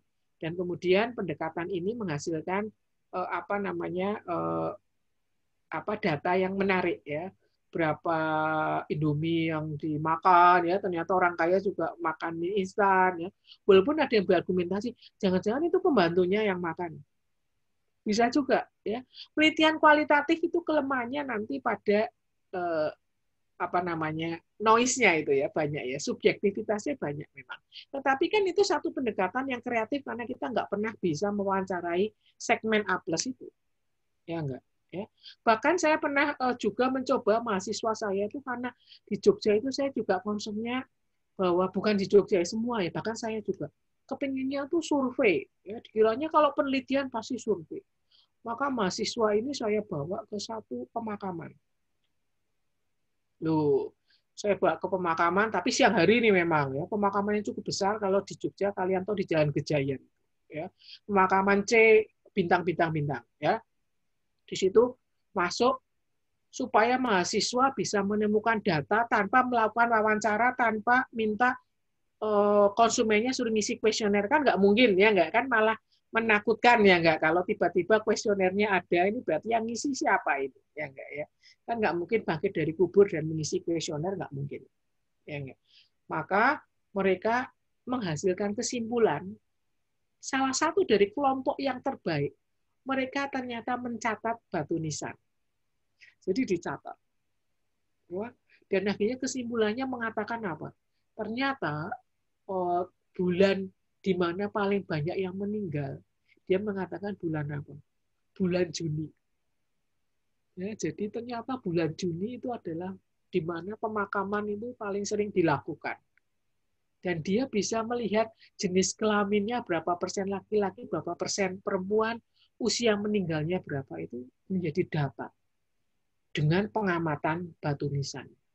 Yang bagi saya itu adalah satu breakthrough kreativitas ya enggak kalau yang namanya marketing kan ya seperti kita sebutkan definisinya kan art and science ya enggak ya jadi artnya itu menunjukkan kreativitas dan inovasi betul itu Pak Iqbal ya jadi SIP itu sudah merecall apa yang sudah dipelajari di marketing management ada lagi tadi siapa ya yang mau bicara hmm. Siapa tadi Mbak siapa yang uh, saya Bu Fatia. Oh iya, silakan Fatia. Mau make sure aja Bu lagi Bu. Uh, tadi saya juga baru tahu ya tentang uh, teori laten sama manifest itu uh, yang mengetahui tentang uh, status sama manifest itu kan kayak aspek sebenarnya gitu. Berarti untuk mengetahui status itu uh, maksud saya untuk mengetahui laten itu bisa diketahui dengan deep interview itu ya Bu, yang kualitatif tadi itu ya Bu. Betul ya. Jadi uh, laten, nah jangan khawatir nanti Fatia akan mendapatkan materi ini lebih mendalam di CBE. Ya mungkin karena belum sampai aja. Ya saya juga pinjam slide-nya dari CBE. Jadi untuk betul ya yang manifest itu itu akan uh, berkenaan dengan informasi yang bersifat permukaan.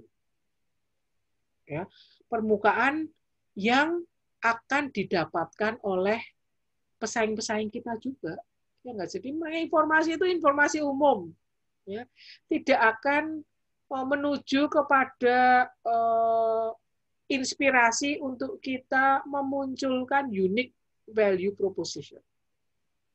Ya sehingga informasi tentang manifest motives itu bagus. Cuma tidak akan membantu kita untuk menghasilkan sesuatu yang berbeda. Ya istilahnya dia sampai points of parity aja lah paritas. Ya tapi tidak akan menghasilkan temuan tentang proposisi menghasilkan points of difference. Ya enggak ya? Kalau di teori branding kan kita harus sampai pada yang namanya POD nah cara kita untuk dapat laten motifs ini kalau pakai kuesioner jelas nggak bisa. Ya kuesioner mentoknya nanti ya paling bagus itu ya dapat detail manifest motifs. Ya enggak ya tapi yang laten motifs ini cara yang paling paling ibaratnya populer dan mudah dilakukan ya in-depth interview itu. Itu yang paling mudah. In-depth interview yang lebih berkualitas lagi ini pernah saya lakukan pada waktu kami menjadi konsultan untuk MNC TV jadi MNC TV juga tertarik sebetulnya apa yang dipikirkan oleh penonton Indonesia pada waktu itu namanya masih TPI dan TPI menjadi TV nomor satu di Indonesia waktu itu karena tiga acara. Satu adalah kontes dangdut Indonesia KDI, ya, mungkin masih ingat ya. Yang kedua adalah API audisi pelawak Indonesia. Dan yang ketiga karena satu seri yang pada waktu itu TPI yang pertama memunculkan yaitu takdir ilahi. Itu yang itu loh yang sinetron yang asap-asap itu loh. Ya. Itu pertama dulu TPI yang buat. Dan tiga acara tersebut ya mau mengatakan mutu nggak mutu, ya nggak. Tapi kan harus dilihat dari perspektif konsumen. Maka TPI sangat tertarik how they should rebrand themselves. Kalau kenyataannya ternyata takdir ilahi itu membuat TPI menjadi nomor satu maka meluncurlah kami untuk melaksanakan yang namanya in-depth interview dan harus dilaksanakan di rumah yang bersangkutan. Itu metodologi yang saya tawarkan pada TPI. Saya tidak akan melakukan in-depth interview dengan mengundang mereka ke kantor.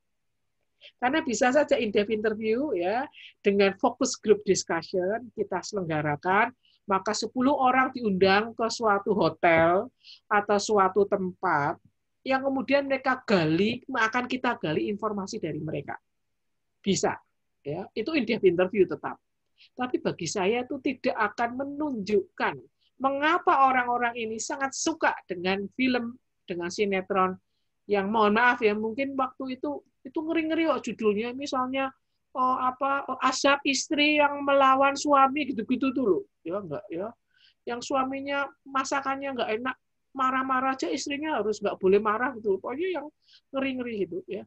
Kenapa? Saya bilang saya harus sampai di rumah di lingkungan di mana konsumen kita itu tinggal.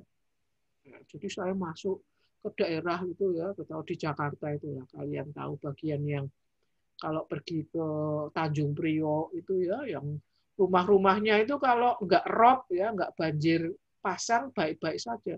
Tapi banjir pasang itu datangnya seminggu dua kali dan tidurnya itu pasti di tempat tidurnya itu yang atas ya karena bawahnya pasti terendam air. Dan mereka hidup dengan keadaan seperti itu, maka pada waktu saya tanya mengapa mereka menyukai KDI, mengapa mereka menyukai api, mengapa mereka menyukai takdir ilahi, maka semua yang mereka katakan bisa saya interpretasikan dengan baik. Karena saya melihat oh ini loh yang menjadi konteks. Ya enggak, ya. Itu contohnya.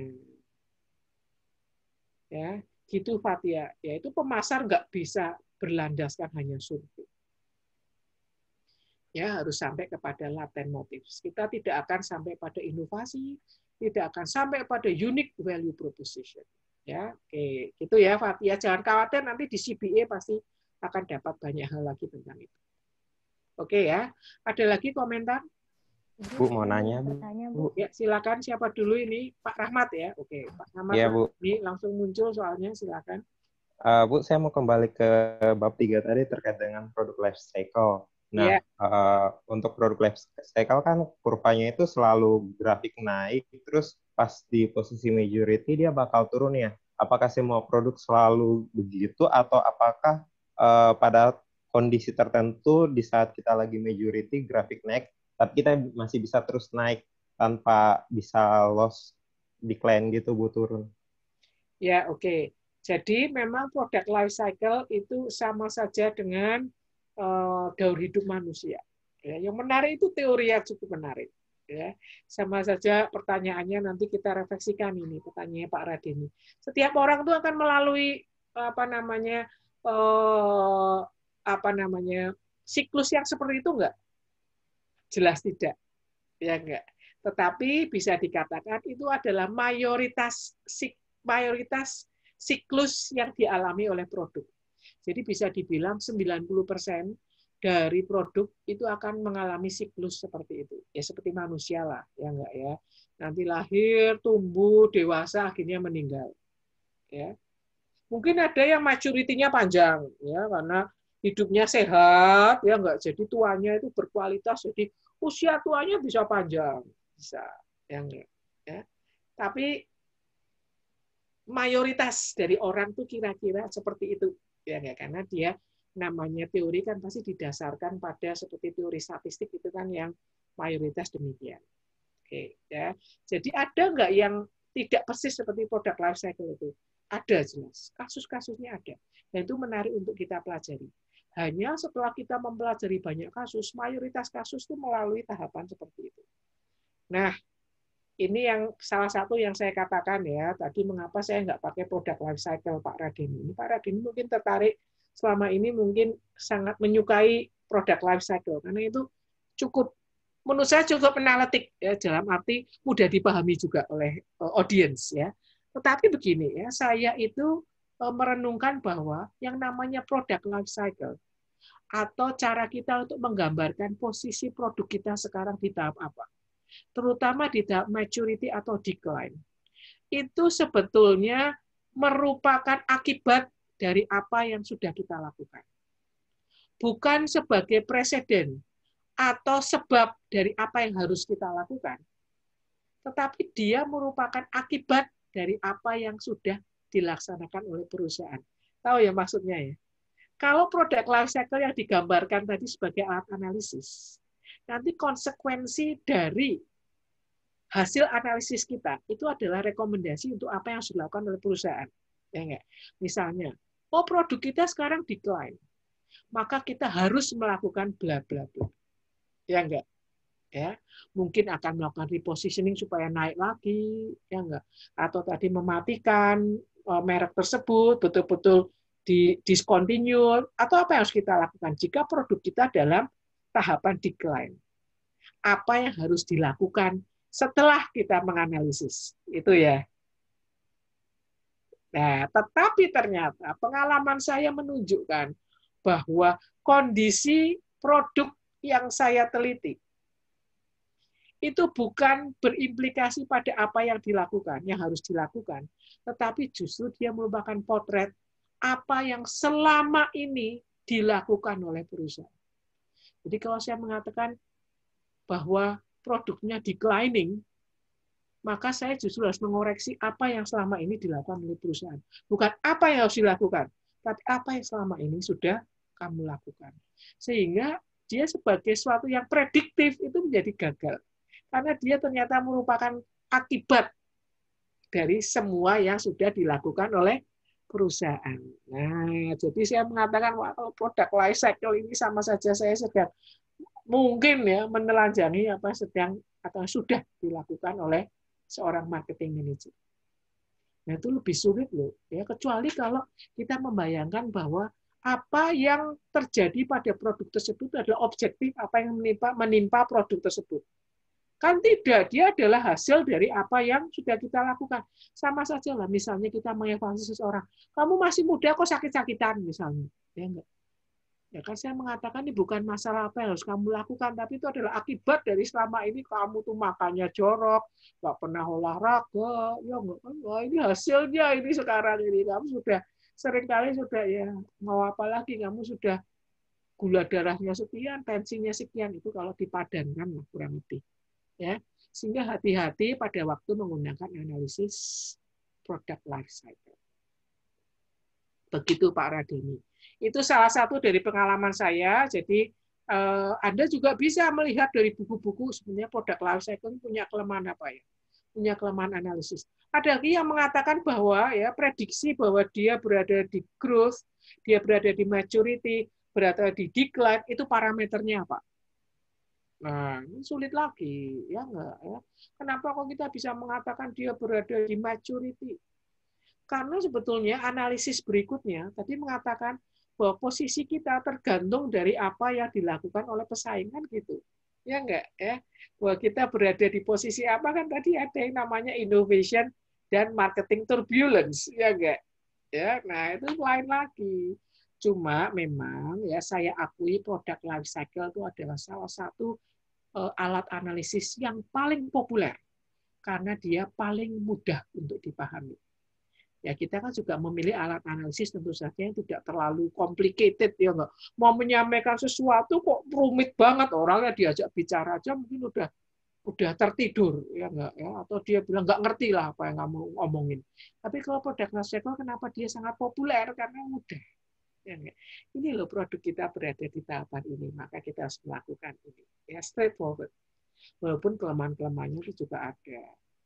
Gitu Pak Radeni. Ya, jadi ini kayak bicara pada Anda sudah pada level yang ibaratnya saya hanya mengatakan ada produk life cycle, ada ini, ada ini. Tapi kita sudah mulai harus menganalisis bahwa setiap alat, setiap framework itu pasti memiliki kelemahan.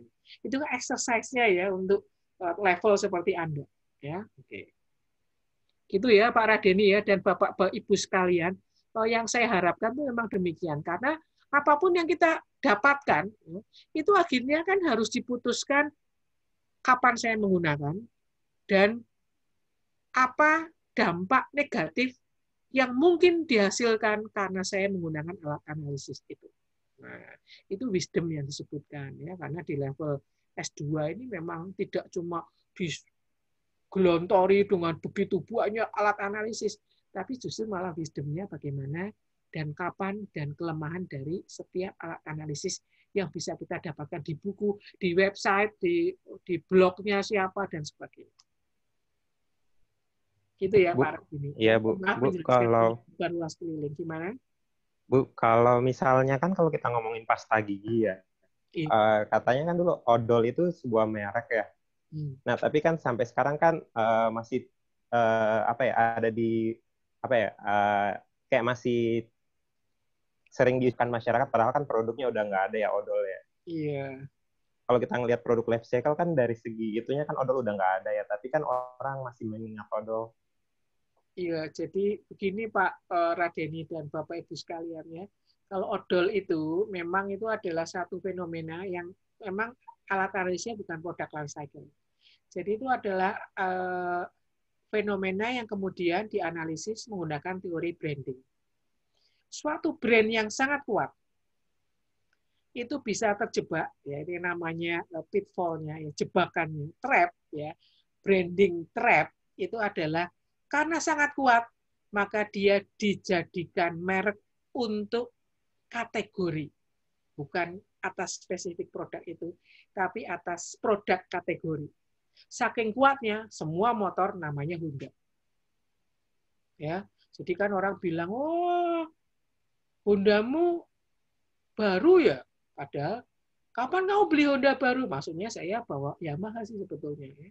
Atau motor saya Kawasaki, tapi orang bilang, wah Hondanya baru. Hondanya baru. Maksudnya motornya baru. Saking kuatnya, Honda menjadi nama generik. Dulu juga ya, eh, odol itu saking kuatnya. Jadi kenapa kita selalu mengatakan bahwa yang namanya pasta gigi odol? Itu karena odol memiliki brand equity yang sangat kuat sehingga menjadi brand untuk produk kategori. Yang lainnya juga kita tahu ini mulai sekarang ya muncul nama eh, apa pipa plastik yang ternyata pralon. Pralon itu saya kira tuh nama produk ya, kategori. Ternyata dulu merek untuk pipa plastik yang warnanya PVC itu ya, warnanya abu-abu itu dulu merek pertama yang muncul adalah pralon. Ya, jadi saya pikir pipa pralon itu kategori, ternyata itu merek. Berarti dia juga masuk dalam jebakan bahwa brand yang kuat akan menjadi brand untuk produk kategori. Nah, jika itu terjadi, kita harus mengantisipasinya dengan menunjukkan bahwa brand kita nggak boleh jadi nama produk kategori. Contohnya teh botol. Teh botol itu brandnya kuat sekali karena pertama ya di Indonesia orang tahu minuman teh yang dibotolkan itu kan teh botol. Tapi lama-lama orang minum teh botol dikasih merek-merek yang lain mau, ya enggak?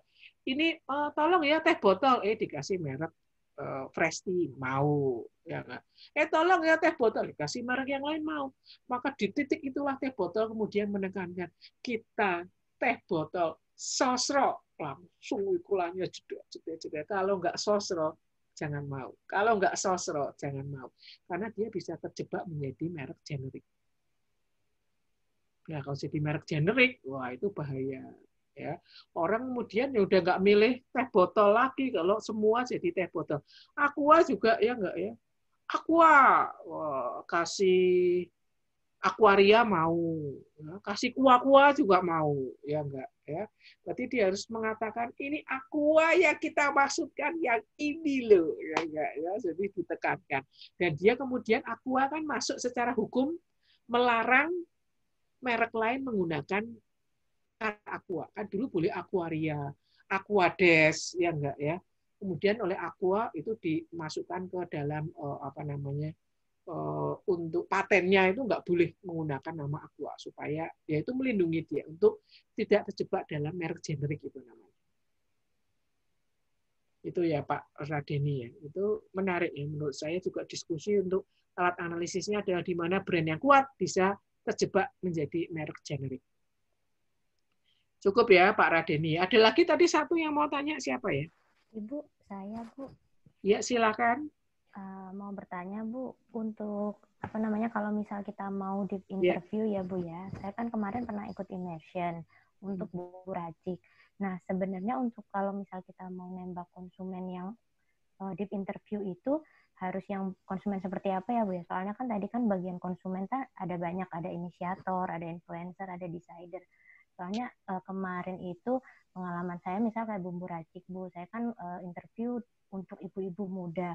Ternyata jawaban mereka itu kenapa memilih bumbu racik jawabannya cuma ya karena suami saya suka. Ya karena suami saya suka atau mertua saya pakai gitu. Tapi yang memasak mereka. Jadi tuh yeah. sebenarnya harusnya konsumen seperti apa yang kita interview gitu, Bu. Iya. Yeah. Betul ya, ini memang dulu saya pada waktu interview tentang kopi instan itu juga sulit seperti Winda ini. Ya. Saya tanya pada ibu-ibu, kenapa kok kalau suaminya pulang tidak mungkin dibuatkan kopi instan? Pasti dibuatkan kopi tubruk, ya, terus and ground. Saya tanya tuh ya jawabannya tuh ya karena suami saya suka, ya enggak. Karena kopi instan enggak enak, ya enggak, ya. Sampai akhirnya jawaban sesungguhnya itu setelah digali-gali itu muncullah satu statement yang bagi saya itu sangat mengejutkan yaitu karena ibu-ibu itu merasa bahwa kalau menghidangkan kopi instan itu memberikan kesan bahwa ibu tersebut malas. Nggak mungkin. Karena yang namanya kopi tubruk itu baru bisa diseduh dengan sempurna jika airnya mendidih hampir 100 derajat. Jadi dia harus mendidih air. Nggak bisa air di termos. pasti nggak berhasil. Maka airnya harus mendidih ya, untuk bisa membuat kopi tubruk. Tapi kalau kopi instan bisa. 80 derajat saja kopi instan bisa. Nah, bagi ibu-ibu itu kalau menghidangkan kopi instan itu tuh malas. Nggak mungkin suami yang capek dilayani oleh istri yang malas. Ya. Jadi mengapa mereka kopi instan? No, itu hanya dipakai oleh istri-istri pemalas. Ya. Nah, lalu siapa kemudian yang dianalisis? Memang idealnya kita bisa menggambarkan dari target market itu siapa yang menjadi inisiator, siapa yang menjadi influencer, siapa yang menjadi decider, siapa yang menjadi buyer, dan siapa yang menjadi user. Dan itu adalah identifikasi yang apa itu sendiri itu merupakan suatu temuan. Misalnya contohnya ya, dulu kita baru tahu yang namanya uh, sabun deterjen atau rinso lah ibaratnya nama generik lagi ya enggak ya bubuk deterjen itu ya deterjen bubuk itu dulu iklannya itu selalu karena segmen pasarnya ternyata nah ini kan juga berkaitan dengan segmen pasar yang kita tuju ya Winda ya. Segmen pasarnya itu adalah kalau Rinso itu kan menengah ke atas, ya enggak ya. Nah, menengah ke atas itu biasanya di rumahnya tuh punya pembantu. Dan yang menarik dari penelitian uh, Unilever waktu itu, yang membeli memang nyonya rumah. Ya, karena belanja bulanan masih dilakukan oleh eh, apa namanya istri, ibu rumah tangga, ibu apa nyonya rumah. Tapi ternyata siapa yang kemudian memutuskan mana yang dipakai dan mana yang tidak itu pembantu rumah tangga. Jadi dikisahkan ini seorang nyonya yang akan belanja, dia walaupun dikasih iklan tentang Rinso, tapi yang dia beli nanti sesuai dengan diinginkan oleh pembantu rumah tangganya. Jadi dicontohkan, waktu itu Rinso itu hampir saja tergelincir karena dia eh, formulanya terlalu keras. Ya, sampai pembantu rumah tangganya bilang kepada majikannya pada nyonya rumah, "Bu, jangan beli Rinso. Tangan saya lecet-lecet, terkelupas." Nyonya rumah itu enggak pakai pertimbangan apa pun, tidak pakai lihat iklan apa pun, pasti menuruti apa yang diinginkan oleh pembantu rumah tangganya. Oh iya toh, pakai apa Mbak? Oh saya soklin saja. Pasti belinya soklin, saya jamin. Walaupun iklan Rinso 100 kali lebih bagus daripada iklan soklin. Ya. Nah, sehingga si Winda ini ya pertama harus melihat yang namanya bumbu apa itu bumbu instan ya itu ya semuanya ya. Itu ditujukan kepada kelas bawah atau menengah atau menengah atas secara uh, variabel segmentasi mana yang kita pakai, apakah rumah tangga dengan double income household dengan single income household itu akan menjadi targeting yang menarik ya.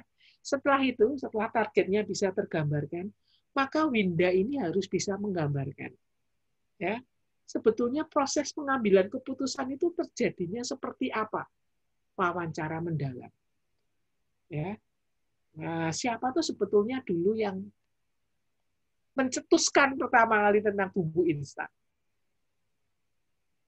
Nah, kalau milih bumbu instan tuh siapa? Di rumah itu apakah oh, suami ikut ngomong, anaknya ikut ngomong, atau tetangganya ikut ngomong, bakul sayur bisa loh.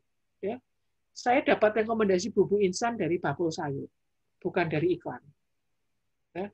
Nah, siapa itu digambarkan itulah bagian dari in interview karena nanti ya strategi pengiklanan itu berbeda jika ternyata decidernya itu bukan ibunya misalnya decidernya malah anaknya. Atau paling berperan influencer bakul sayur. Maka strateginya kan berbeda. Apa yang dirumuskan oleh sajiku misalnya atau oleh bumbu instan apa yang sedang diselidiki oleh Winda. Itu bagian apa salah satu frame yang harus dihasilkan dari in-depth interview itu itu ya peran-perannya ya enggak ya siapa sebenarnya berperan sampai kepada proses pembelian. Kemudian setelah itu belinya berapa kali, di mana, saat seperti apa, ya enggak? Itu dari hasil interview. Tapi saya setuju dengan Winda bahwa itu tidak mudah. Kenapa? Karena orang Indonesia itu ya itu kalau ditanya itu jawabannya pendek-pendek. Mengapa enak? Ya enggak. Kenapa beli menarik? Cuma itu jawabannya enak, menarik, murah, udah itu dua. Makanya kenapa pada waktu saya penelitian tentang eh, TPI itu, saya ke rumah orang tersebut dan satu hari saya hanya responden saya cuma dua orang karena saya ke rumahnya saya bertamu, saya makan di situ. Oke, diceritain si ibu ini cerita, saya dengarkan, saya ditawari makan, saya ikut makan, diceritain anaknya dibawa ke tempat anaknya biasa main saya ikut, jadi satu hari cuma dua saya wawancara. Sampai saya bilang ke TPI, saya dengan budget sekian juta, cara sumber saya waktu itu cuma 30 30 itu 15 loyalis, 15 non loyalis. Saya bagi menjadi dua. Separuh adalah existing customer, separuhnya non customers. Saya gali kenapa dia menjadi loyalis dan kenapa dia tidak mau nonton acara-acara TDI tersebut. Dan jadi mereka tahu itu CEO-nya cukup terkesan. Oh jadi ini tuh penonton Indonesia termasuk ya yang menarik ya saya menginterview seseorang. Ibu ini ternyata selain dia eh, sebagai ibu rumah tangga, dia ternyata di rumahnya tuh nerima itu loh apa namanya untuk masang manik-manik itu. Ya. Pasang manik-manik yang kemudian dia katakan, ya, saya tuh nonton TV itu bukan nonton dalam arti nonton ya kan. Tetapi nonton itu juga saya dengarkan karena saya kan harus buat manik-manik ya sehingga tontonan TV itu harus yang secara audio membuat saya juga bisa mengikuti ceritanya. Jadi mengapa dia mengatakan saya suka film India? Waktu itu dia mengatakan saya suka TPI. Dia bilang loyalis TPI dia nggak pernah lihat film apa TV yang lain kecuali TPI karena di TPI itu ada satu film India yang panjangnya tiga setengah jam. Dan ibu ini mengatakan apa? nonton TPI ditinggal apa eh, jemuran dulu ngambil jemuran balik ke depan TV ceritanya masih tahu. Itu kalau film India masih bisa ngikuti. Ditinggal ke belakang dulu ngapain? Balik lagi ke depan TV ceritanya masih bisa ngikuti. Nggak bisa terjadi kalau dia nonton Metro TV ya enggak nggak bisa terjadi kalau dia nonton National Geographic. Ya enggak National Geographic kita harus ngamati ya enggak ya nonton. Ini ceritanya apa, penggalian mumi di Mesir misalnya, kita harus tahu historinya.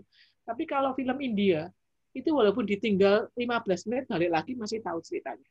Ya. Nah, itu satu hal yang saya katakan pada TPI, nggak usah buat film yang sulit-sulit. Ya, karena orang Indonesia, ibu-ibu itu punya kemewahan, nggak punya kemewahan untuk nonton TV seperti nonton Metro TV. Pertahankan acara-acara yang kelihatannya visual, tapi secara audio itu juga bisa didengarkan. Nah, TV langsung, oh iya ya orang Indonesia tuh ibu-ibu di Indonesia tuh kasihan ya multitasking gitu. Betul. Ya. Itu contohnya ya. Jadi Winda memang harus menggali dengan sabar ya. Nah, itu yang namanya sikap seorang eh, peneliti memang berbeda ya. Karena apa? Kita mendengarkan. Sambil tanya seperti tadi Pak Arief mengatakan harus disiapkan atau enggak harus disiapkan koridor pertanyaannya tapi kita lebih banyak mendengarkan. Begitu ya, Winda tetap semangat ya untuk menggali kekayaan informasi ya. Jangan hanya menggali permukaan saja. Ya, kalau permukaan bukan menggali ya, yang ngambil. Silakan Pak Tommy. Oh iya, terima kasih Bu Ika ya. Nun Sewu, Bu. Saya perhatikan Ibu berulang kali menyampaikan bahwa in-depth interview itu adalah yang paling ultimate kalau saya tangkap Bu. Tapi dari pros tersebut terdapat cons di mana membutuhkan waktu lama. Nah, itu kalau saya melihat apa penjelasan Ibu perihal apa yang disampaikan Josh S. Day di mana experience lalu fast adaptif vigilant adaptif iya adaptif market experimentation apakah tidak bisa menggantikan in interview tersebut, Bu. Ya. Seperti itu, Bu. Ya. Baik. Jadi uh, sebetulnya ya uh, style kita adalah style saya ya. Kalau menjelaskan itu pasti kan sudah berdasarkan ibaratnya uh, penilaian atas selama ini yang bagi kita itu adalah dominan. Jadi saya tidak akan menjelaskan survei, ya enggak, karena semua orang sudah tahu. Tetapi yang menjadi permasalahan adalah begini Pak Tommy, kita tuh masalahnya itu sering kali menyangka bahwa survei adalah satu-satunya cara untuk melakukan marketing research. Itu yang terjadi. Semuanya itu kalau bilang tentang marketing research, survei. Oh, jadi saya mau survei. Oh, langsung di dalam pikirannya itu survei. Nah, itulah yang harus kita lawan. Bukannya survei keliru, survei itu betul.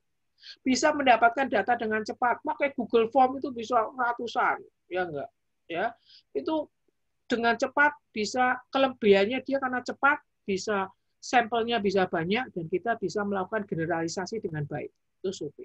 Tapi saya nggak menjelaskan lagi karena itu semua kita udah tahu. Ya, yang menjadi isu strategis adalah ada dua hal.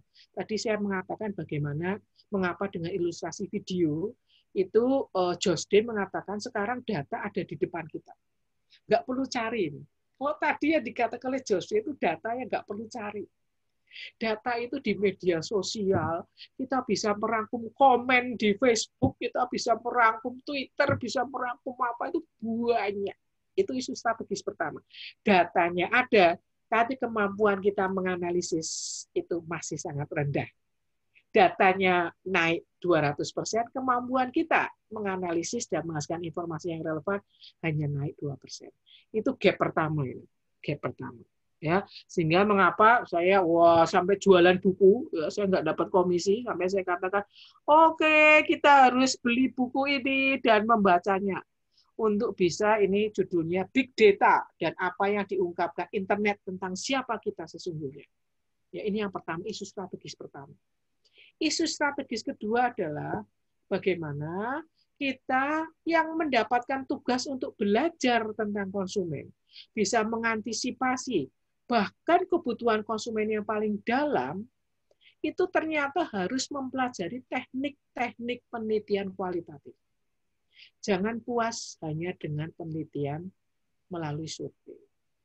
Ternyata survei itu hanya akan sampai ke batas tertentu, tidak akan bisa menghasilkan in-depth knowledge, tidak akan bisa menghasilkan pengetahuan tentang latent motives, dan tidak bisa implikasinya menghasilkan unique value proposition. Itu isu strategis yang kedua sih Pak.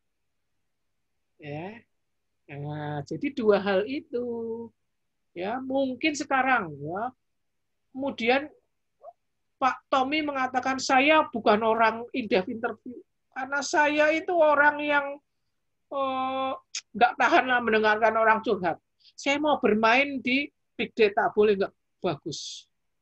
Jadi survei itu semuanya saya anggap sudah bisa, ya enggak ya. Yang selama ini sudah tahu lah ya. Sebulan tambahin saya mau main big data, saya mau baca buku buat everybody lies, ya enggak. Bagaimana we take advantage on available data, datanya itu ada. Tetapi kemudian misalnya ya Pak Ferdian ini saya kelihatannya mau bermain lebih antropologis. Ini orang antropologi yang bermain dengan in-depth interview, Pak. Ya, saya alirannya mau ke situ model seperti yang juga dilakukan oleh tadi saya contohkan ya PNG dan uh, uh, Unilever. Boleh alirannya nanti lebih antropologis, mendekati masyarakat, informasi, cerita mendalam itu nanti aliran Ferdian misalnya. Pak Tommy alirannya ini, Ferdian alirannya ini. Tapi perusahaan yang membangun capabilities tentang pasar akan melakukan yang mana? Semuanya. Ya enggak? Cuma penekanannya pasti berbeda-beda. Dan banyak perusahaan yang mencoba cara-cara baru. Termasuk tadi yang dikatakan oleh Josdi. Ini perusahaan udah kalau nggak punya capability di dalam bahkan beli spesialis. Ya, kerjasama, cari konsultan atau cari spesialis. Ya, jadi dicarikan orang yang ahli dan dibayar untuk bisa mendapatkan analisis atas data yang available. Nah, gitu Pak Tommy. Jadi jangan bingung ya. ya. Jadi jangan salah persepsi. Saya pasti bangun argumentasinya sesuai dengan isu strategis yang sudah kita pelajari.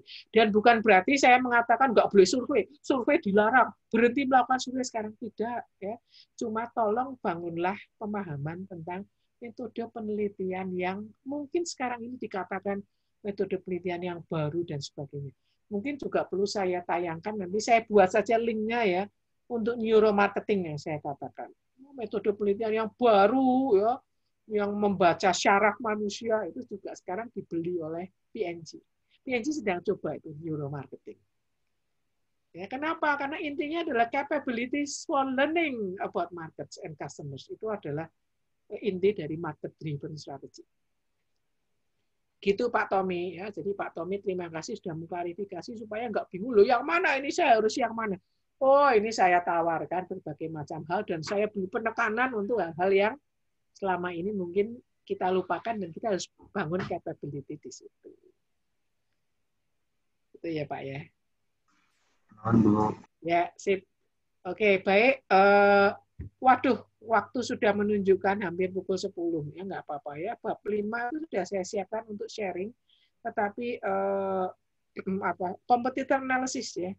Oke ya, memperdalam apa yang tadi kita sebutkan ya untuk Eh, analisis yang sebetulnya sudah kita uh, sedikit industri analisisnya di bab 3 ya. Nanti bab 5 nanti akan lebih tajam ya. Nggak apa-apa karena ini sudah jam 10 kalian semua sudah lelah ya.